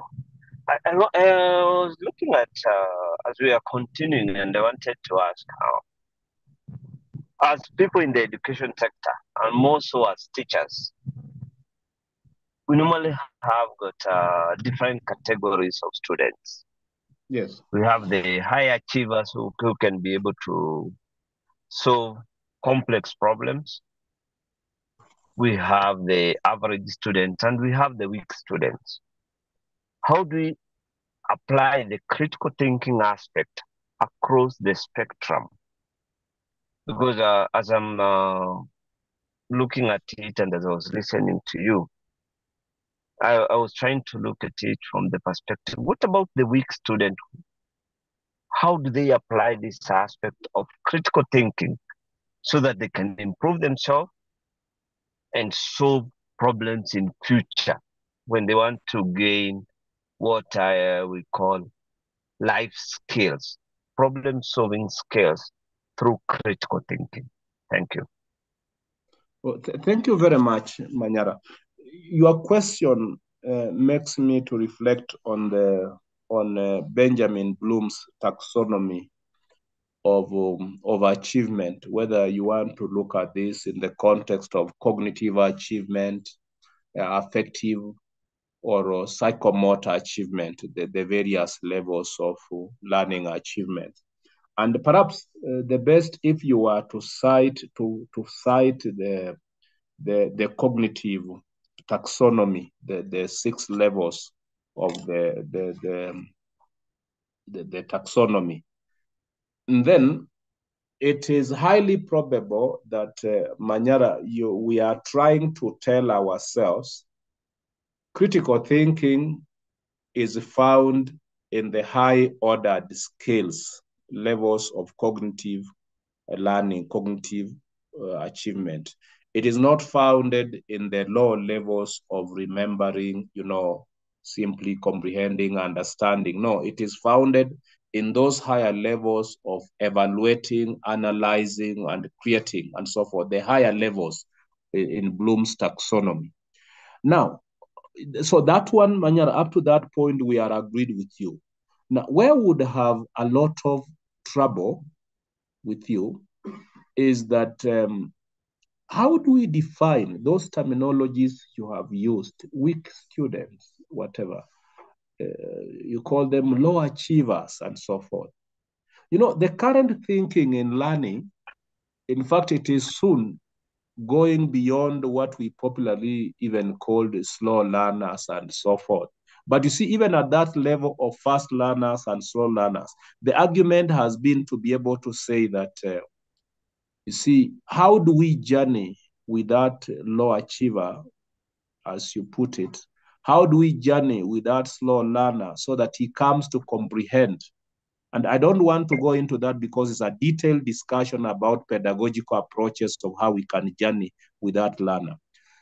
But far importantly, and as Wekesa put it a few moments uh, before, let's not confuse academic achievement, acad academic prowess with the critical thinking. It does not follow the one who has uh, academic prowess, academic prowess in, in the context of he scores 100, he scores 90, whatever, will be high in critical thinking than the one who scores, say, 30%, 20% or so. Because you see, critical thinking, we are now touching the holistic output of what education has done to this individual learner. But you see, our school system has tended to say that the one who scored the most is likely to be the best in society. And I think experience has disapproved on that. But let's see, as we are going to, to discuss that in a moment, we'll be talking about it just in a moment. So let's look at um, what critical thinking is. Daktari. Yes, Daktari. please. Yes. Uh, uh, uh, would I be wrong to say that uh, the Sonkos of this world yes.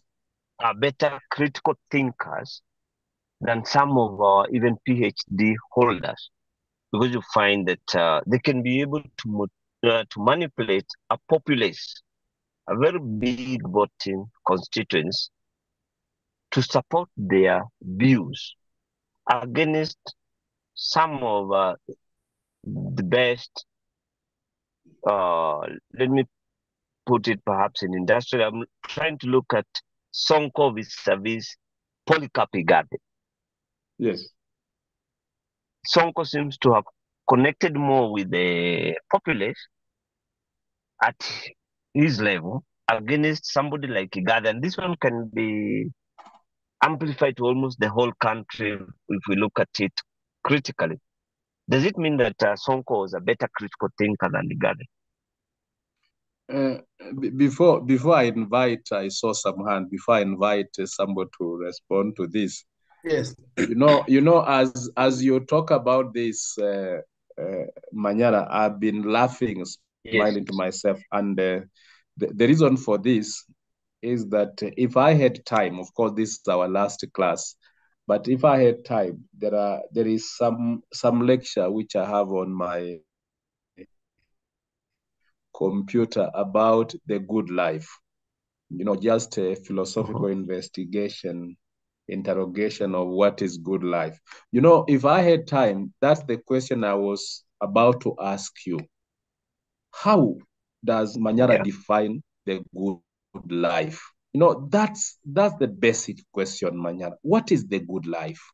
You Yeah. know, this this thing, this question we are raising, we also raised it last week in our last we, week's class. Eh?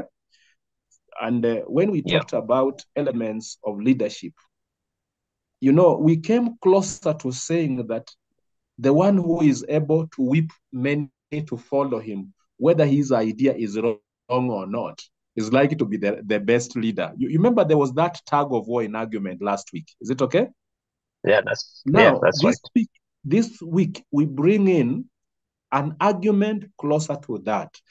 And uh, that's why I'm saying that if we had a chance, we could have interrogated the good life. What do we define as the good life? Would have looked at it very philosophically, so that could it be that uh, the end justifies the means?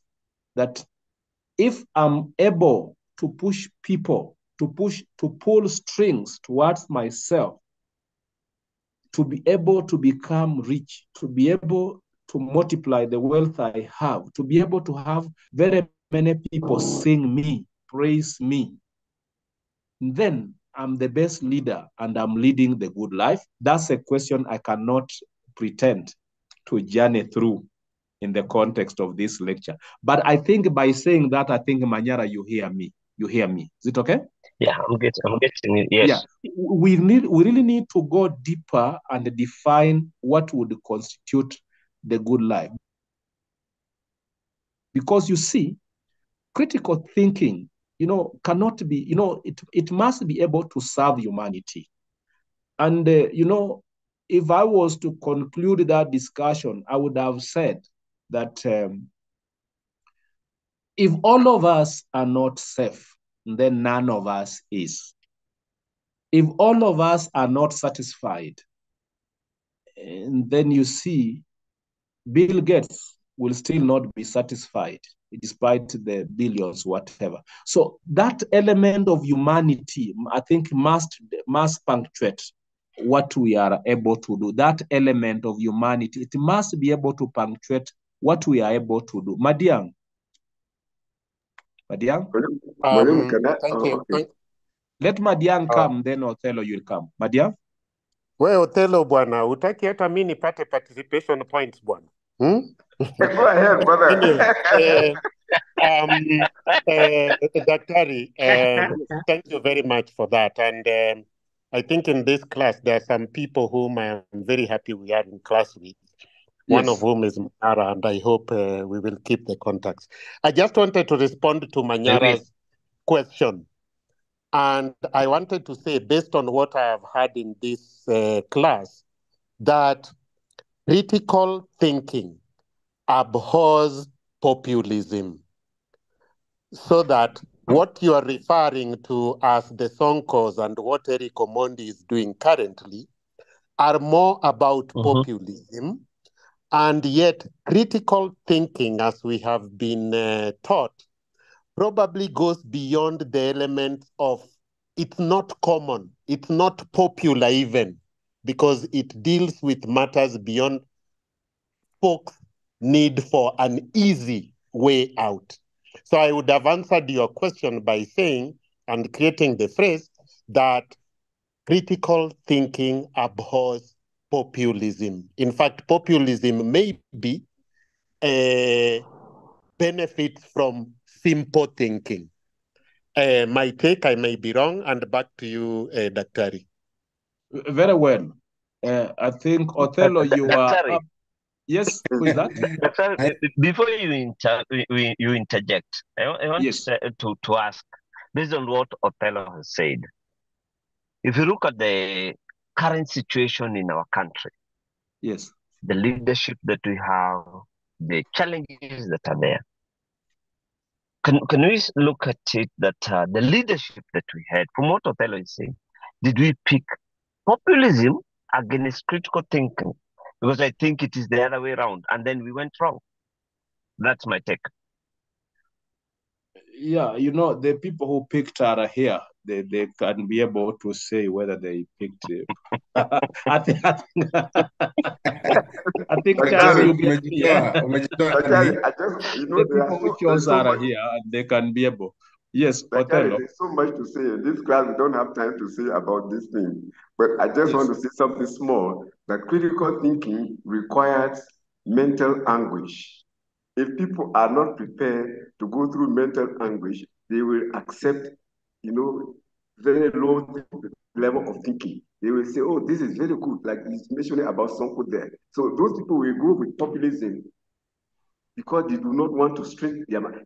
Critical thinking requires you to strain your mind. you have to go deeper into your mind and strain your mind. So people are not prepared to, to, to, to, to go through mental anguish. So they don't want to go that, that path, critical thinking path.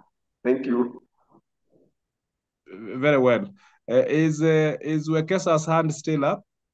Yes, uh, uh, Doctor, I wanted to respond to the question on weak students. Yes. Uh, and how they can be able to use critical thinking to improve on their performance.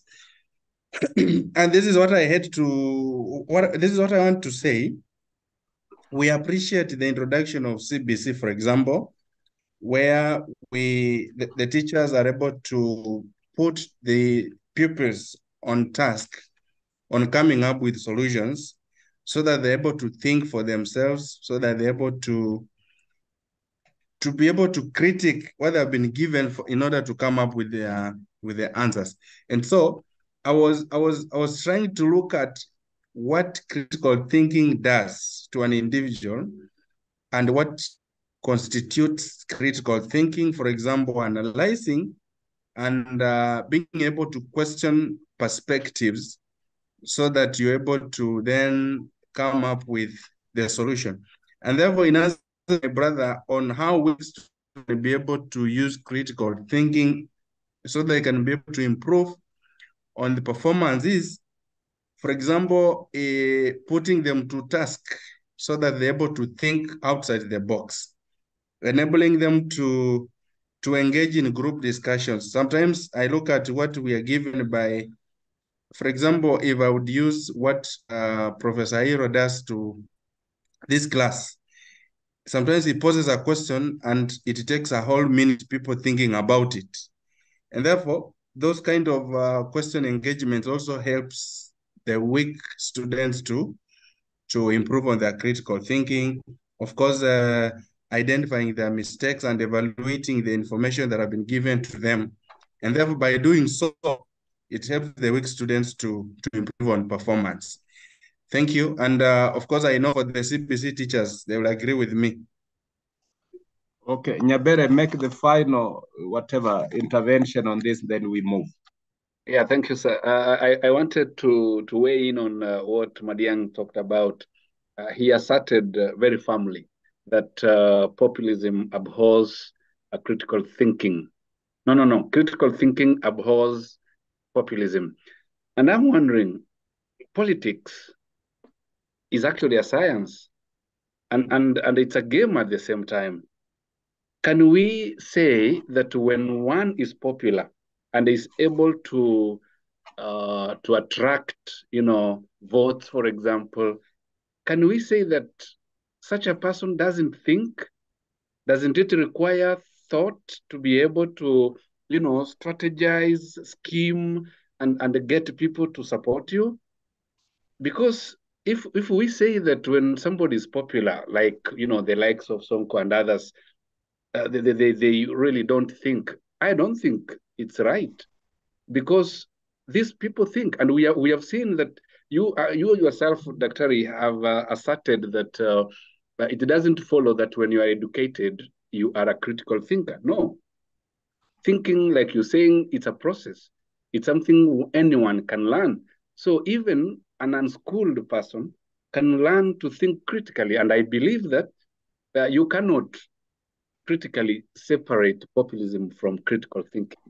And, and, and I think it will be unfair for us to pass judgment that when one is very popular, it follows that they are not critical thinkers. And that when one is a critical thinker, then it also follows that they cannot be popular. My two Yeah, cents. I, I, I hear you, Nyabere. And before we comment, Gaki, Gaki, I see Gaki. Thank you, thank you, Daktari.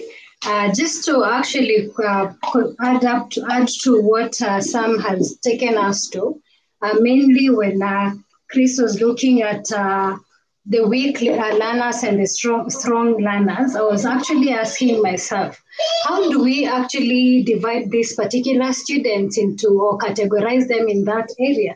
Is it because they are not as academically gifted, and that's the scope we are looking, we are looking at them or viewing them with? Whereas these students, they might be actually weak within the class setup, that's their academic scope. But when it comes to the co-curricular, they actually shine out there and they are able to exhibit their critical thinking through how they handle that ball, through how they uh, engage in teamwork. So just not limiting the, uh, the scope on critical thinking on the academic grounds, but looking at it wholesomely. Thank you. Very well, Gaki, sure. You know, the all-round perspective of the learner and being able to see how they also employ critical thinking in other fields, not just in uh, uh, academic cognitive uh, dimensions. Brenda, Yeah, um, Brenda, your hand is up.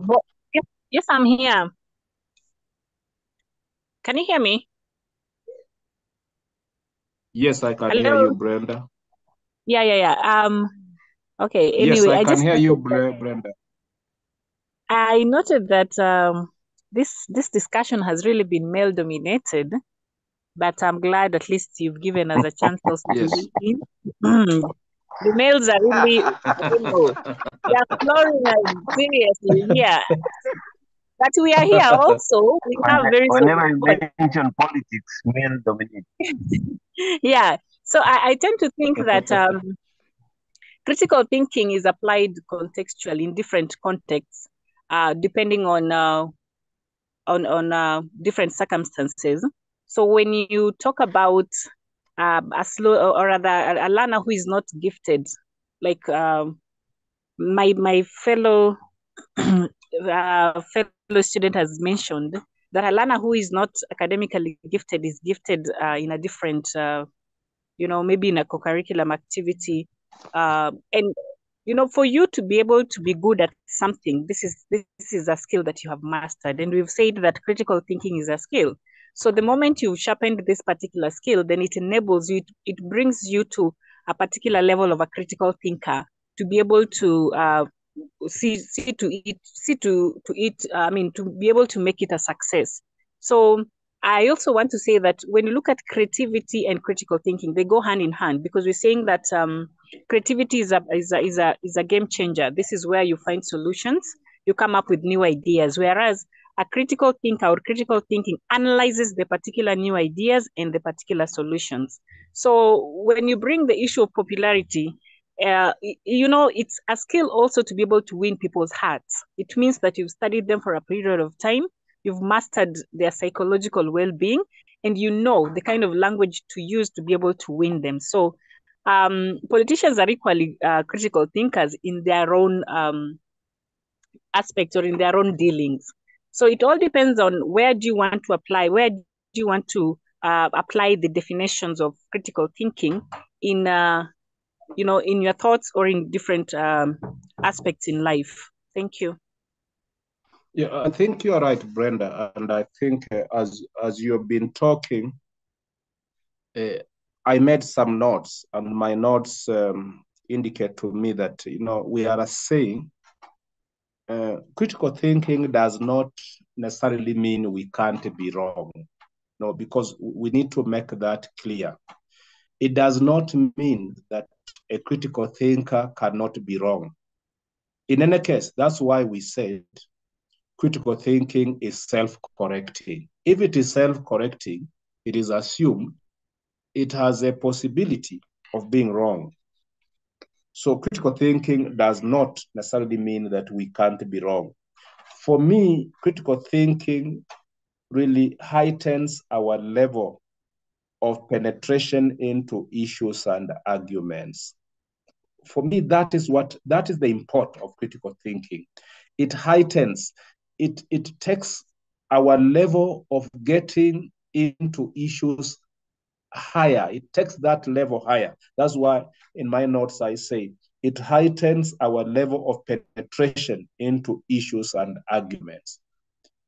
But you see, as we penetrate those issues and arguments and come up with the positions, remember we have said those positions remain tentative as far as our arguments, our evidence, you know, remain forceful, remain uh, truthful for today. But upon the coming up of new evidence, those positions can change. So I think those two points, and Brenda, I think you you looked at it quite correctly. Critical thinking does not indicate that we are free from error. However, at the point that we are thinking critically, it means we are putting forward our best rational foot on an issue. So that even if we are wrong, one would argue this is the best in that environment. But remember, it is not just the best in that environment because everybody else will come with the best.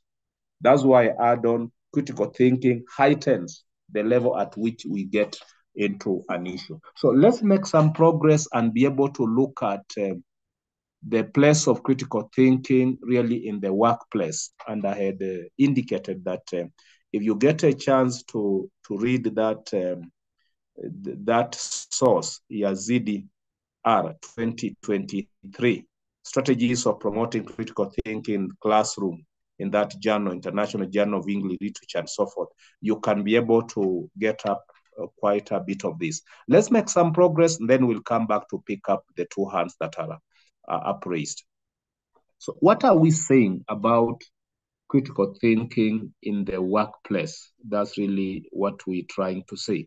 So, the importance of critical thinking in the workplace cannot actually be overstated. Indeed, we are saying critical thinking skills are among the most important skills needed for success in the modern workplace, alongside very many other skills. You talk about skills like communication, collaboration, creativity, and so forth. Critical thinking is one in this package, and we cannot overemphasize that critical thinking is a critical skill required in the workplace today. So, critical thinking in the workplace refers to that ability of the employees to analyze and evaluate information, identify problems, and develop and implement really effective solutions to the, to the issues that we are having. Critical thinking also will involve really the use of logical and analytic skills to make informed decisions. This issue was raised sometimes earlier that when we are Hello. talking about Hello. critical thinking, we are talking about the ability to use logical and analytical skills to be able to make informed decisions, to be able to solve complex problems. We are actually making a case for the place of critical thinking in the workplace, such that critical thinking is important in the workplace because it can help organizations and institutions to improve their operations. It can also help us in institutions and organizations to, to increase efficiency. Ukimaliza tunaenda kucheza game. Yeah, it can also help us to be able to improve efficiency in um, in the workplace. So you see, for example, critical critical uh, thinking is able to achieve all these things by helping organizations actually to improve what they're able to do.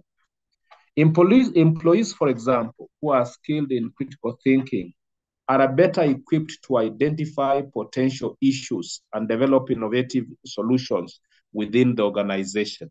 This is why my argument would be that actually, if you are a CEO, if you are a, a head teacher, you'd love to have teachers in your school who are critical thinkers. You'd you'd love to have workers working in your organization who are critical thinkers, and you can see the place, the argument we are repeating for them.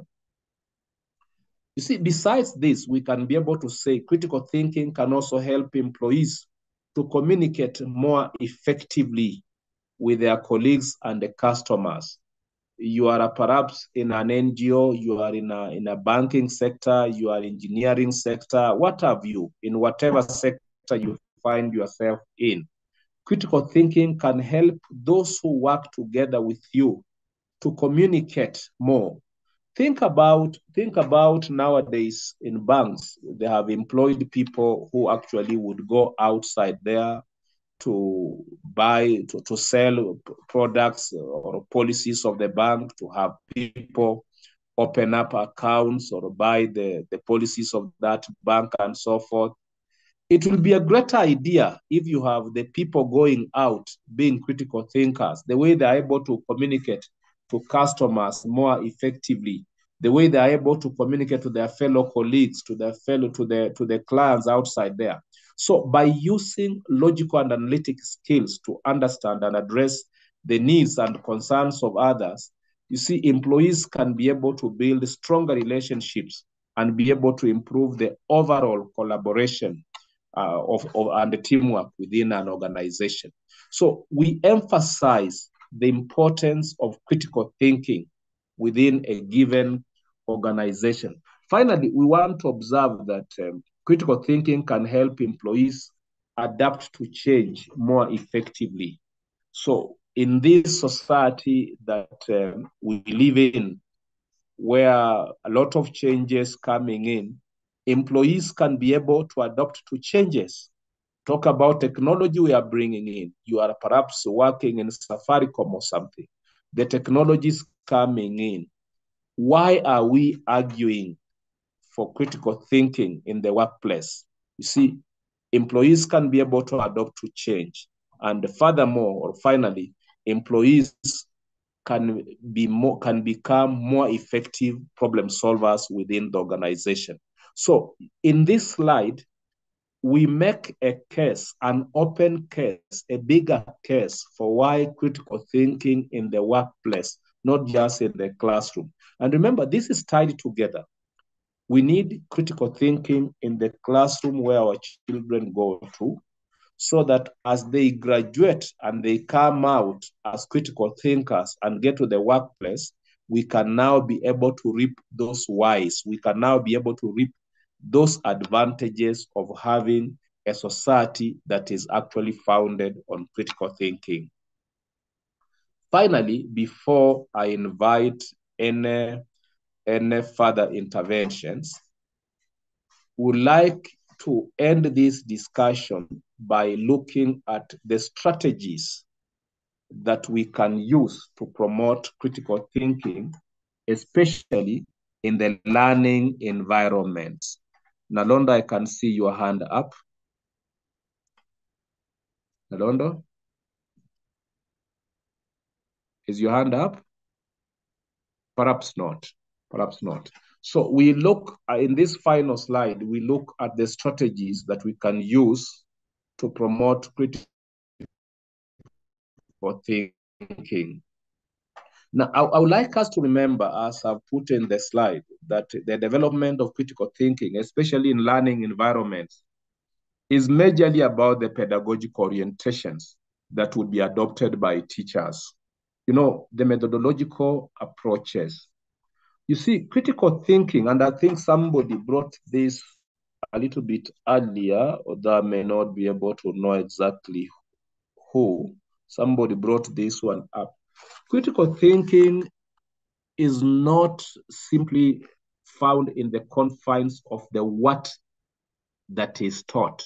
Critical thinking is not majorly about what was taught to the learner critical thinking has something greater to do with how it is taught. It has something to do with the pedagogical, the methodological orientations that teachers adopt. You see, critical thinking is one of the, the 21st century skills.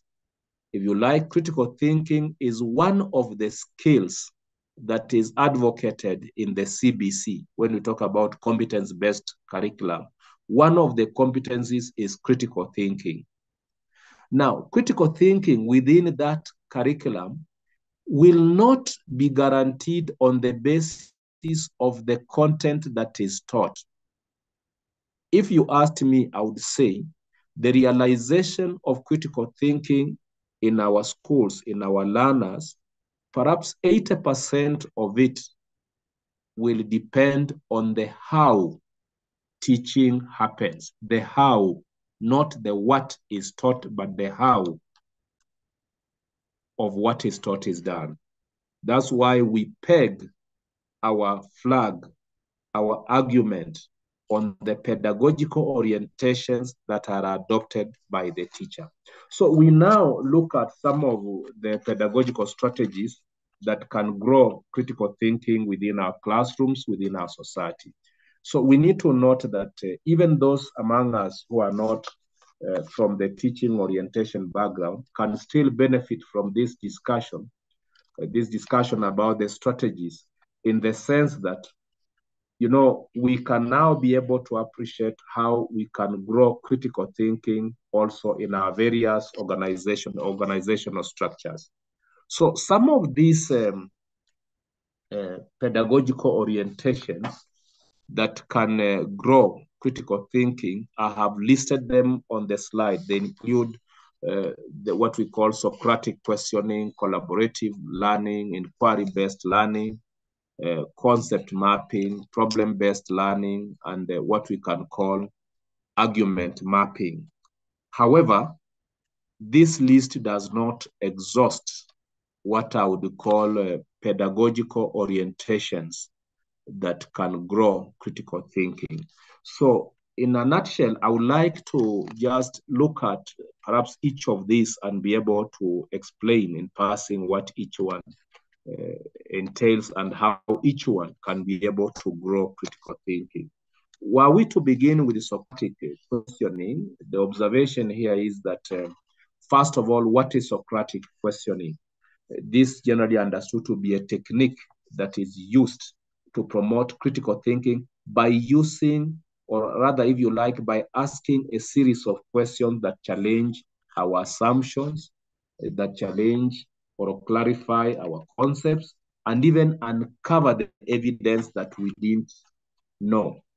We call it Socratic questioning because it is named after a great Greek philosopher, Socrates, who was known for using this method to lead his students to deeper understanding and insight. So the importance of Socratic uh, questioning in developing critical thinking lies actually in his ability to help individual learners, or if you like, individual people within an organization, to be able to examine and evaluate their own thinking and the thinking of others. So when we talk about Socratic questioning, is that you have a position or your neighbor, your friend has a position which you know, but you try to ask for the sake of learning, not for the sake of challenging it simply, but for the sake of evaluating how firm that grounding is, how firm that position is. So that's why we say by asking thought-provoking questions, Socratic questioning can actually help individuals to identify the biases they have. You see, they, they can also be helped to clarify the concepts they already believe in. They can be helped to really clarify and consider alternative perspectives to what they know. So you can see Socratic questioning can also help individuals to identify gaps. Like um, you people, I'm sure you are taking lessons with the professor, you know, on research methods and um, talking about an issue like um, like investigating a problem area for study. You see, Socratic questioning can help you identify those gaps in knowledge, can help you understand an issue better, can help you question that if so and so said this and so and so said this, you know, where is the gap in this? So Socratic questioning, you see, it can sharpen our critical thinking skills. So a teacher who goes to class and engages learners in Socratic questioning you see, a learner is asked a question. When he gives an answer, that answer is probed further. That is what Socratic questioning is. You know, you know, somebody, a, a teacher who asks the learners in class, what do you mean or what is good life? Then learners respond, good life is A, B, C, D. Perhaps good life is owning such wealth and so forth. Then the teacher goes forward to say, so between, you know, pastor so and so, and uh, so and so who owns this wealth, do you mean to say uh, the one who owns more wealth is leading a good life than this pastor? Then the learner says, oh, no, no, no, no. I think the pastor could be leading a good life. Then go ahead. So what is the good life? That is Socratic questioning. You know, you probe against and through the kind of arguments or responses that are given. You see, so you can see how Socratic questioning, you know, it keeps engaging the learner to the frontiers of knowing. Socratic reasoning or Socratic questioning, it keeps knocking the learner at them the horizons of knowing so that those epistemic horizons can be opened to greater levels of, of knowing. The, second uh, approach on our list, the collaborative learning.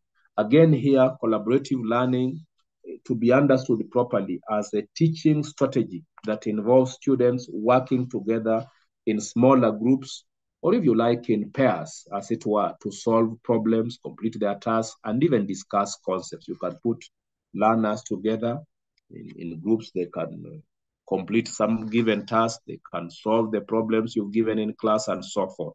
Now, what is fundamental is that this approach can be particularly effective in improving critical thinking skills since it provides those students with the opportunity to engage in active learning. Students are given opportunities to exchange ideas, to challenge each other's perspective, collaborative learning. So collaborative learning, one learner is giving an idea, others are challenging it. You see, something also of the Socratic questioning. You can clearly see how collaborative learning can actually, again, open the doors for critical, critical thinking. Now, if you wanted, for example, to employ collaborative learning in the classroom to improve critical thinking, as an instructor, or as a CEO in that company, you can, for example, assign group projects or assignments that require critical thinking skill, you know, such as analyzing case studies. You can ask them to analyze, you know, a given case study. You can ask them to solve complex problems and so forth. So the first approach you could use in collaborative learning is just assign group projects or assignments that will demand of those learners to engage critical thinking skills. Another second way you could approach under collaborative learning would be simply to encourage, you know, groups, group discussion and the debates where students can share their thoughts and ideas and even can challenge one another's assumptions. So in this line, then, you can see the use of, for example, debates in schools, where you really push learners to participate in this. In the workplace, you can use similar approaches, just use of debates in, in classrooms, in organization, ask, ask your employees to discuss something. This can push the agenda of collaborative learning and an appreciation for critical thinking. Still on collaborative learning, you can also provide, you know, some guidelines and expectations for group work. You know, you can provide them, you know, with things, you know, guidelines that I would like you to do this, you know, so that this can facilitate the communication between the group members and ensure that everyone within the group is participating and contributing really to the discussion. So you can see collaborative learning can become a very effective way of really growing critical thinking. Remember, critical thinking, you want to send that student, that employee, into his mind to think about this, this the problem at hand and relate it to practice. That's what we're talking about. Now, the third approach, pedagogical approach, is what we call inquiry-based learning, inquiry-based learning. And again, inquiry-based learning is a pedagogy, is a method that involves students actively engaging in the learning process by asking questions, you know, inquiring. So students are learning by inquiring, by asking questions, by investigating and even sometimes exploring information which they have. They can also do this by creating their own understanding, inquiry based. Sometimes we talk of inquiry based learning, we, we use the terminology heuristic learning. You see, heuristic learning, learning by self discovery, learning by self discovery. This can also become a very powerful way of growing critical thinking. So, this approach can actually improve critical thinking by simply encouraging students to think deeply, to analyze information, and draw conclusions based on the evidence actually they adduce. Now, fourthly, the most interesting one I find is this we call concept mapping. No. So what is concept mapping? Ma mapping rather, concept mapping. You see, a concept map, or what sometimes some authors refer to as a conceptual map or conceptual diagram, is simply a diagram or a framework that will depict suggested relationship between concepts. You know, concept maps are supposed to be visual representations of information. You see, for those who are teachers in the classroom, you think about charts eh, and and see, dear students, you know, I told you I actually come from the partly from the education background, and sometimes when I go out to assess students on teaching practice, and you find these student teachers have put up Manila papers. You know, it is not everything put up on Manila paper that is that can be called a chart. No, it is not everything. You see, really to be able to understand, it is supposed, of course, to bring the concept of a chart. But you see, we are getting this concept, this idea, concept mapping. If it is con if it's a chart that depicts that is under the context of concept mapping, then you must be able to show the relationship between between the concepts you have. That's why we call it concept mapping to show the relation between concepts. You see, we can talk about examples of concept mapping as well-constructed charts, the, the graphic organize, organizers, the tables, the flow charts, the Venn diagrams we can even use in mathematics and the like, the timelines. You see, all these things, so far as they are able to show certain relationship of concept, they can pass to be called actually conceptual diagrams or simply concept concept maps. So how does concept mapping become an effective way of developing critical thinking? You see, we observe that concept mapping is uh, to be understood as a visual tool that will help your students to visualize, to organize, and represent knowledge in a meaningful way.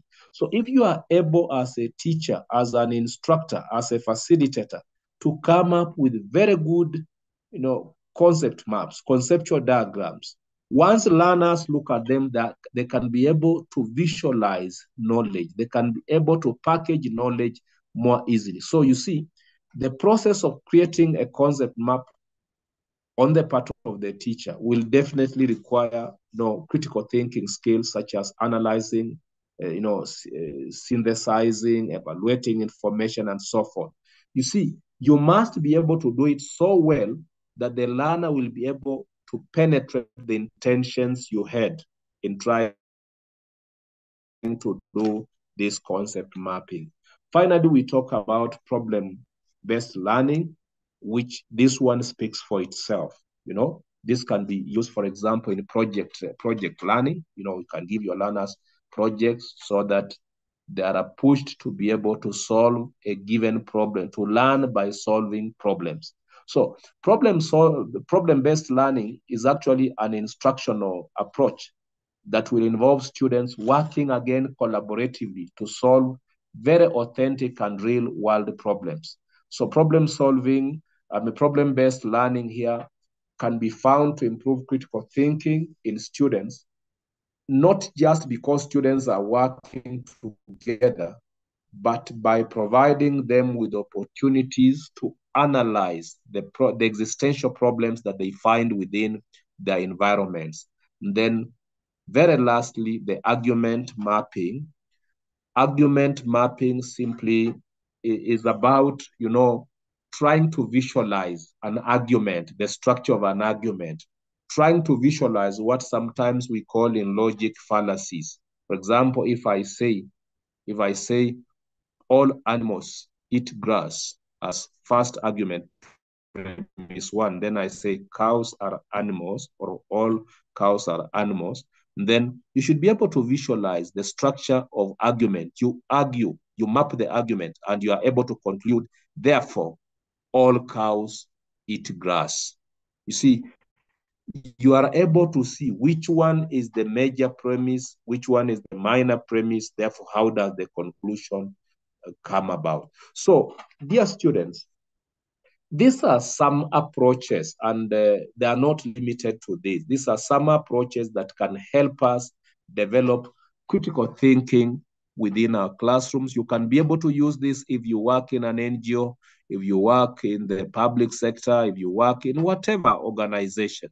When you go out to, to do to facilitate discussions, to facilitate some learning, you know, you can actually invest in some of these approaches so that you know the problems you are trying to solve through critical thinking, the problem that your NGO is trying to solve in the society, you make your participants become the problem solvers of those problems instead of actually being seen to give them the solutions. So this is what we can say about um, critical thinking. This is what we can say about critical thinking. And uh, perhaps before we leave, I'm imagining one or two responses, or rather, Osanya, I can see your hand up. Osanya? Good evening, Doctor. Yes, good evening to you. Uh, I've really enjoyed this evening uh, class. Mine is, uh, is it, we are saying teachers should teach critical thinking. Can, can you teach or can you impart what you are not? Or are we assuming that all teachers are critical thinkers? Mm-hmm. My take, my quick take would be all teachers ought to be, but it is not true all teachers are. Because you see, the moment you think about classrooms where the learners do not have a voice, that is the first indicator critical thinking will suffer. That's the first indicator that these teachers' critical thinking skills can be called to question. The moment you think about a classroom where, you know, you know, those of you are teachers, you understand where really the teacher goes to that class and the learner is viewed as an object and not a subject, not as a co-participant in learning, but rather as an empty vessel to be filled. Again, critical thinking will suffer. So I think Osanya, you can see indications to the questions you are the question you are raising. Osanya.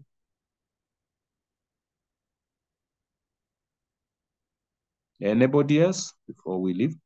Uh, Othello, a short one.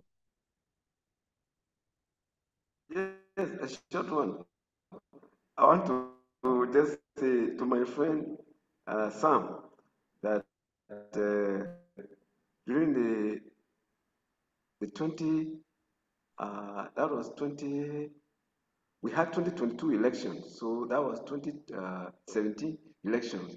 Uh, Sonko the fans of Sonko here maybe they will, they will roast me in some of the things I would just say I would say short because I have a lot to say about that. Uh, Sonko refused to come for the debate the gubernatorial debate. You see critical thinking he, will, he was coming to this debate you have to be to have critical mind to come for such a debate. So as a result, Miguna Miguna and maybe a couple of guys came here and were at this auditorium. So Sonko refused to come. You know, Sonko gained popularity because he used to just dish out money to people. And people who do not want to engage in critical thinking, they make you a hero because they will not want to go through that path of questioning. Where did he get his money from? But so long as they get they get their money given to them, it's okay. So then, Mwalimu, you talk about the, I don't know, you, I, I heard, I overheard something like, this is the last class. Is this the last class? Yes, you are right, Othello. This is our last class, Mwalimu? Yes. Othello, did you hear me? Yes, it is the last class. I think we are having difficulties getting Othello. Eh? Yeah, it could be. I, I had I had a blackout here where I am. There was a blackout, so at some point I disappeared. Okay. So maybe maybe let let me make uh, some concluding remarks because as uh, so as to confirm what Othello is saying that this is our last class. I would like to make some concluding remarks. Now, I want to say that uh, I've, I've enjoyed discussions with you. Remember, you are the maiden class of this program. Sometimes when you are a maiden class of a program, there are there are mixed mixed things, mixed understandings. Uh, sometimes people are trying to package materials and so forth. But I must say, I have found your class to be very interactive. Your, your interventions have pushed my understanding of concept to higher levels, which I appreciate you for.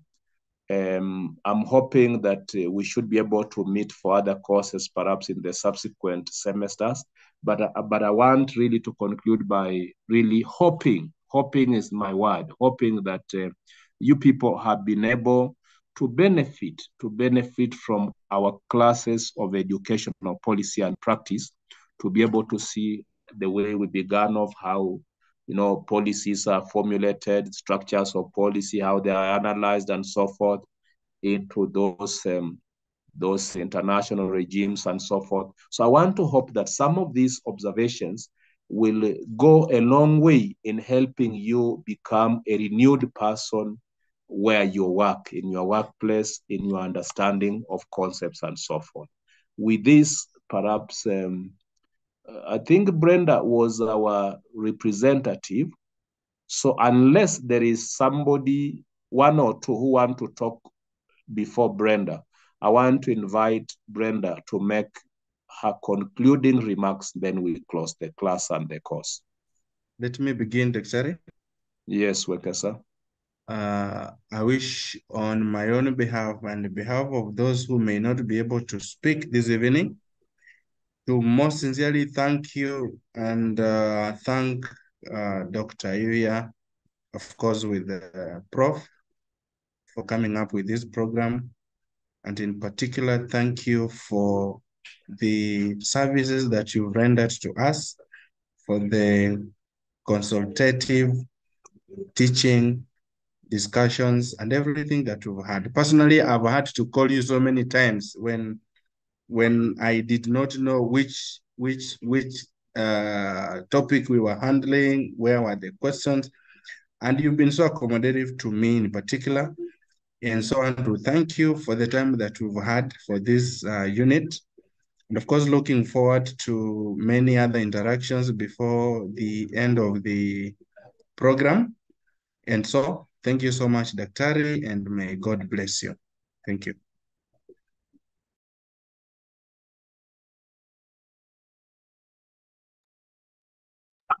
Over and out. Uh-huh. Thank you very much. Thank you very much, Chris. Daktari, can, I- can I take a second and say something? Okay, Yes, Nyabere, please, yes. Yeah, yeah. I, I was just wondering uh, if there is a possibility of you taking us through another unit in the next semester. And if there's none, is there a possibility of uh, someone interested getting uh, to contact you directly? Right. Yeah. You you you have heard that Wekesa has been able to to contact me directly. Always much more willing as a trained teacher, always available. I'm crossing my fingers. I don't know what is in stock with the Dr. Caroline. I'll be talking to her. I think there could be one or so so courses still to come, but still in case there is none that brings us together in class, I think I've equally had my dance, a very wonderful dance, I would say myself. No, you do have a course coming up next semester, so yeah. Oh, Dr. Caroline, you are here. I thought you were not here. All right. So I think, uh, Nyabere, you've been answered. Yeah, and I'm very grateful All for right. that So- because I, yeah, I was saying that you you are a well to draw from, and I, I I'll be very excited to join the next semester. Thank you very much. All right. Doctor, Thank you. Yes, yes. Who is talking? Manyara? Silvanus. Silvanus, yes, Silvanus. Yes, uh, I have enjoyed your lectures. And uh, one of my colleagues called Masimwende, you taught her uh, in her undergraduate. She has also enjoyed some of the lectures. And uh, she said that you are one of her favorite lecturers.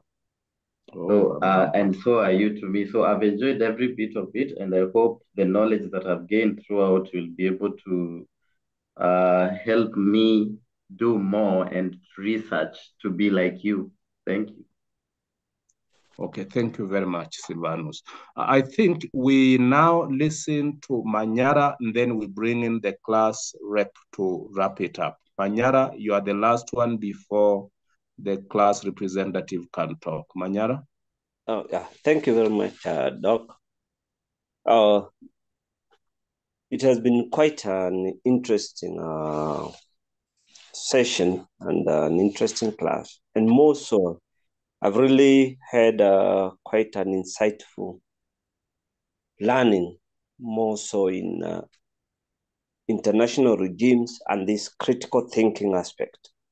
With the international regime, as um, I'm normally interested in uh, current affairs and world affairs, really opened my eyes into the thinking of uh, diplomats and what they do, and how countries are able to work either to monopolize, to manipulate, or to make sure that their agenda is felt. And the critical aspect as a teacher, I think something that I've really enjoyed because uh, it has opened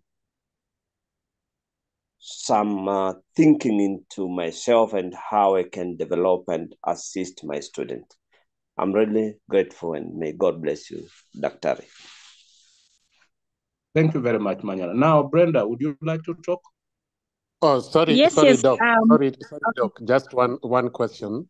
Uh, even though this Madia. is the this is the end Yes. of the classes, I Yes, hope that you are available to the end of the semester for follow-on on assignments and any other Yes, consultation. yes. Okay. Like Thank you. Thank you. on the Thank you. on the platform, the WhatsApp platform, you see, I'm still there, very active, trying to make sure when there is a problem, I'm trying to forward it to where solutions would come from. And I'm also engaging on one-on-one on to people who have difficulties in understanding a few things. We are still discussing. So I open that platform wide and um, great, uh, Madiang. Eh? So I think we now give this chance to the final talk from Brenda.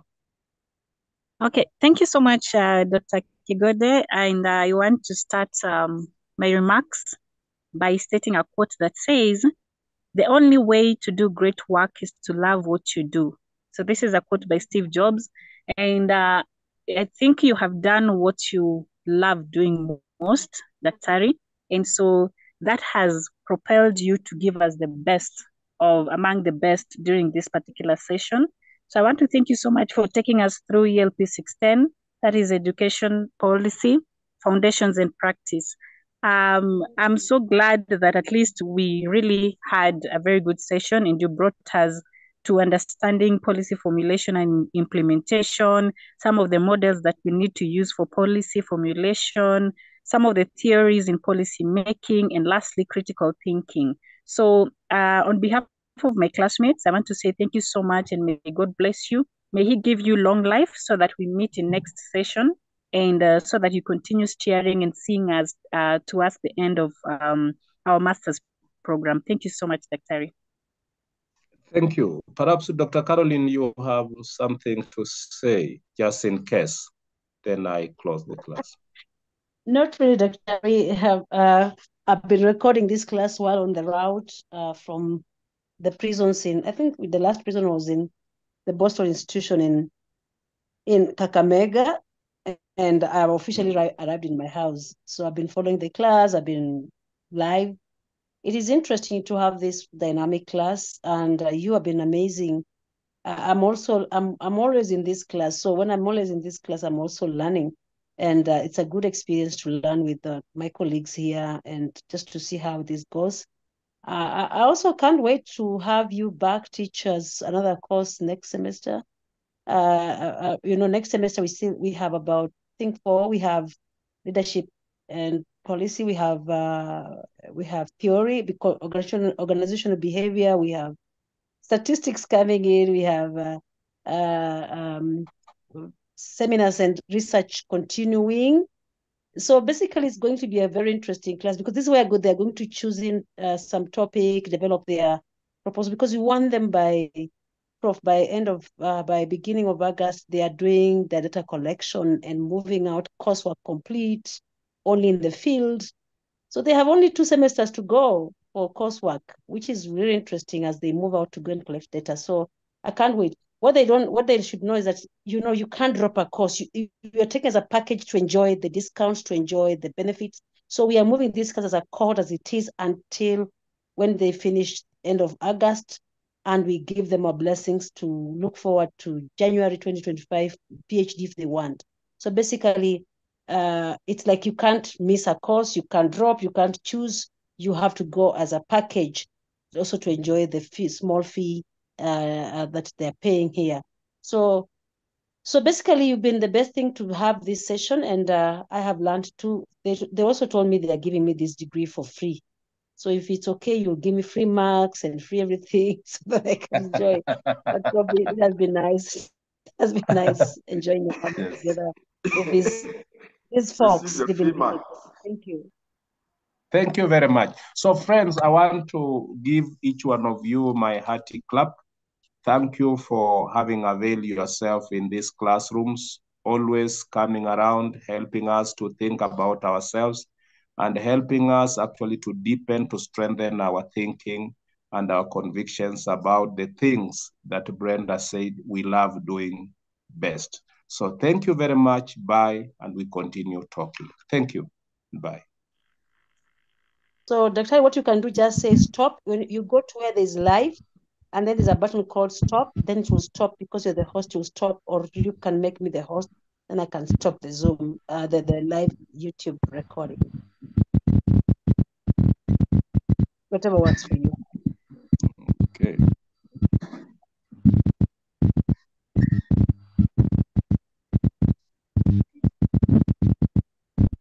Or you can just give me the host. You can make me the host and then I will stop okay.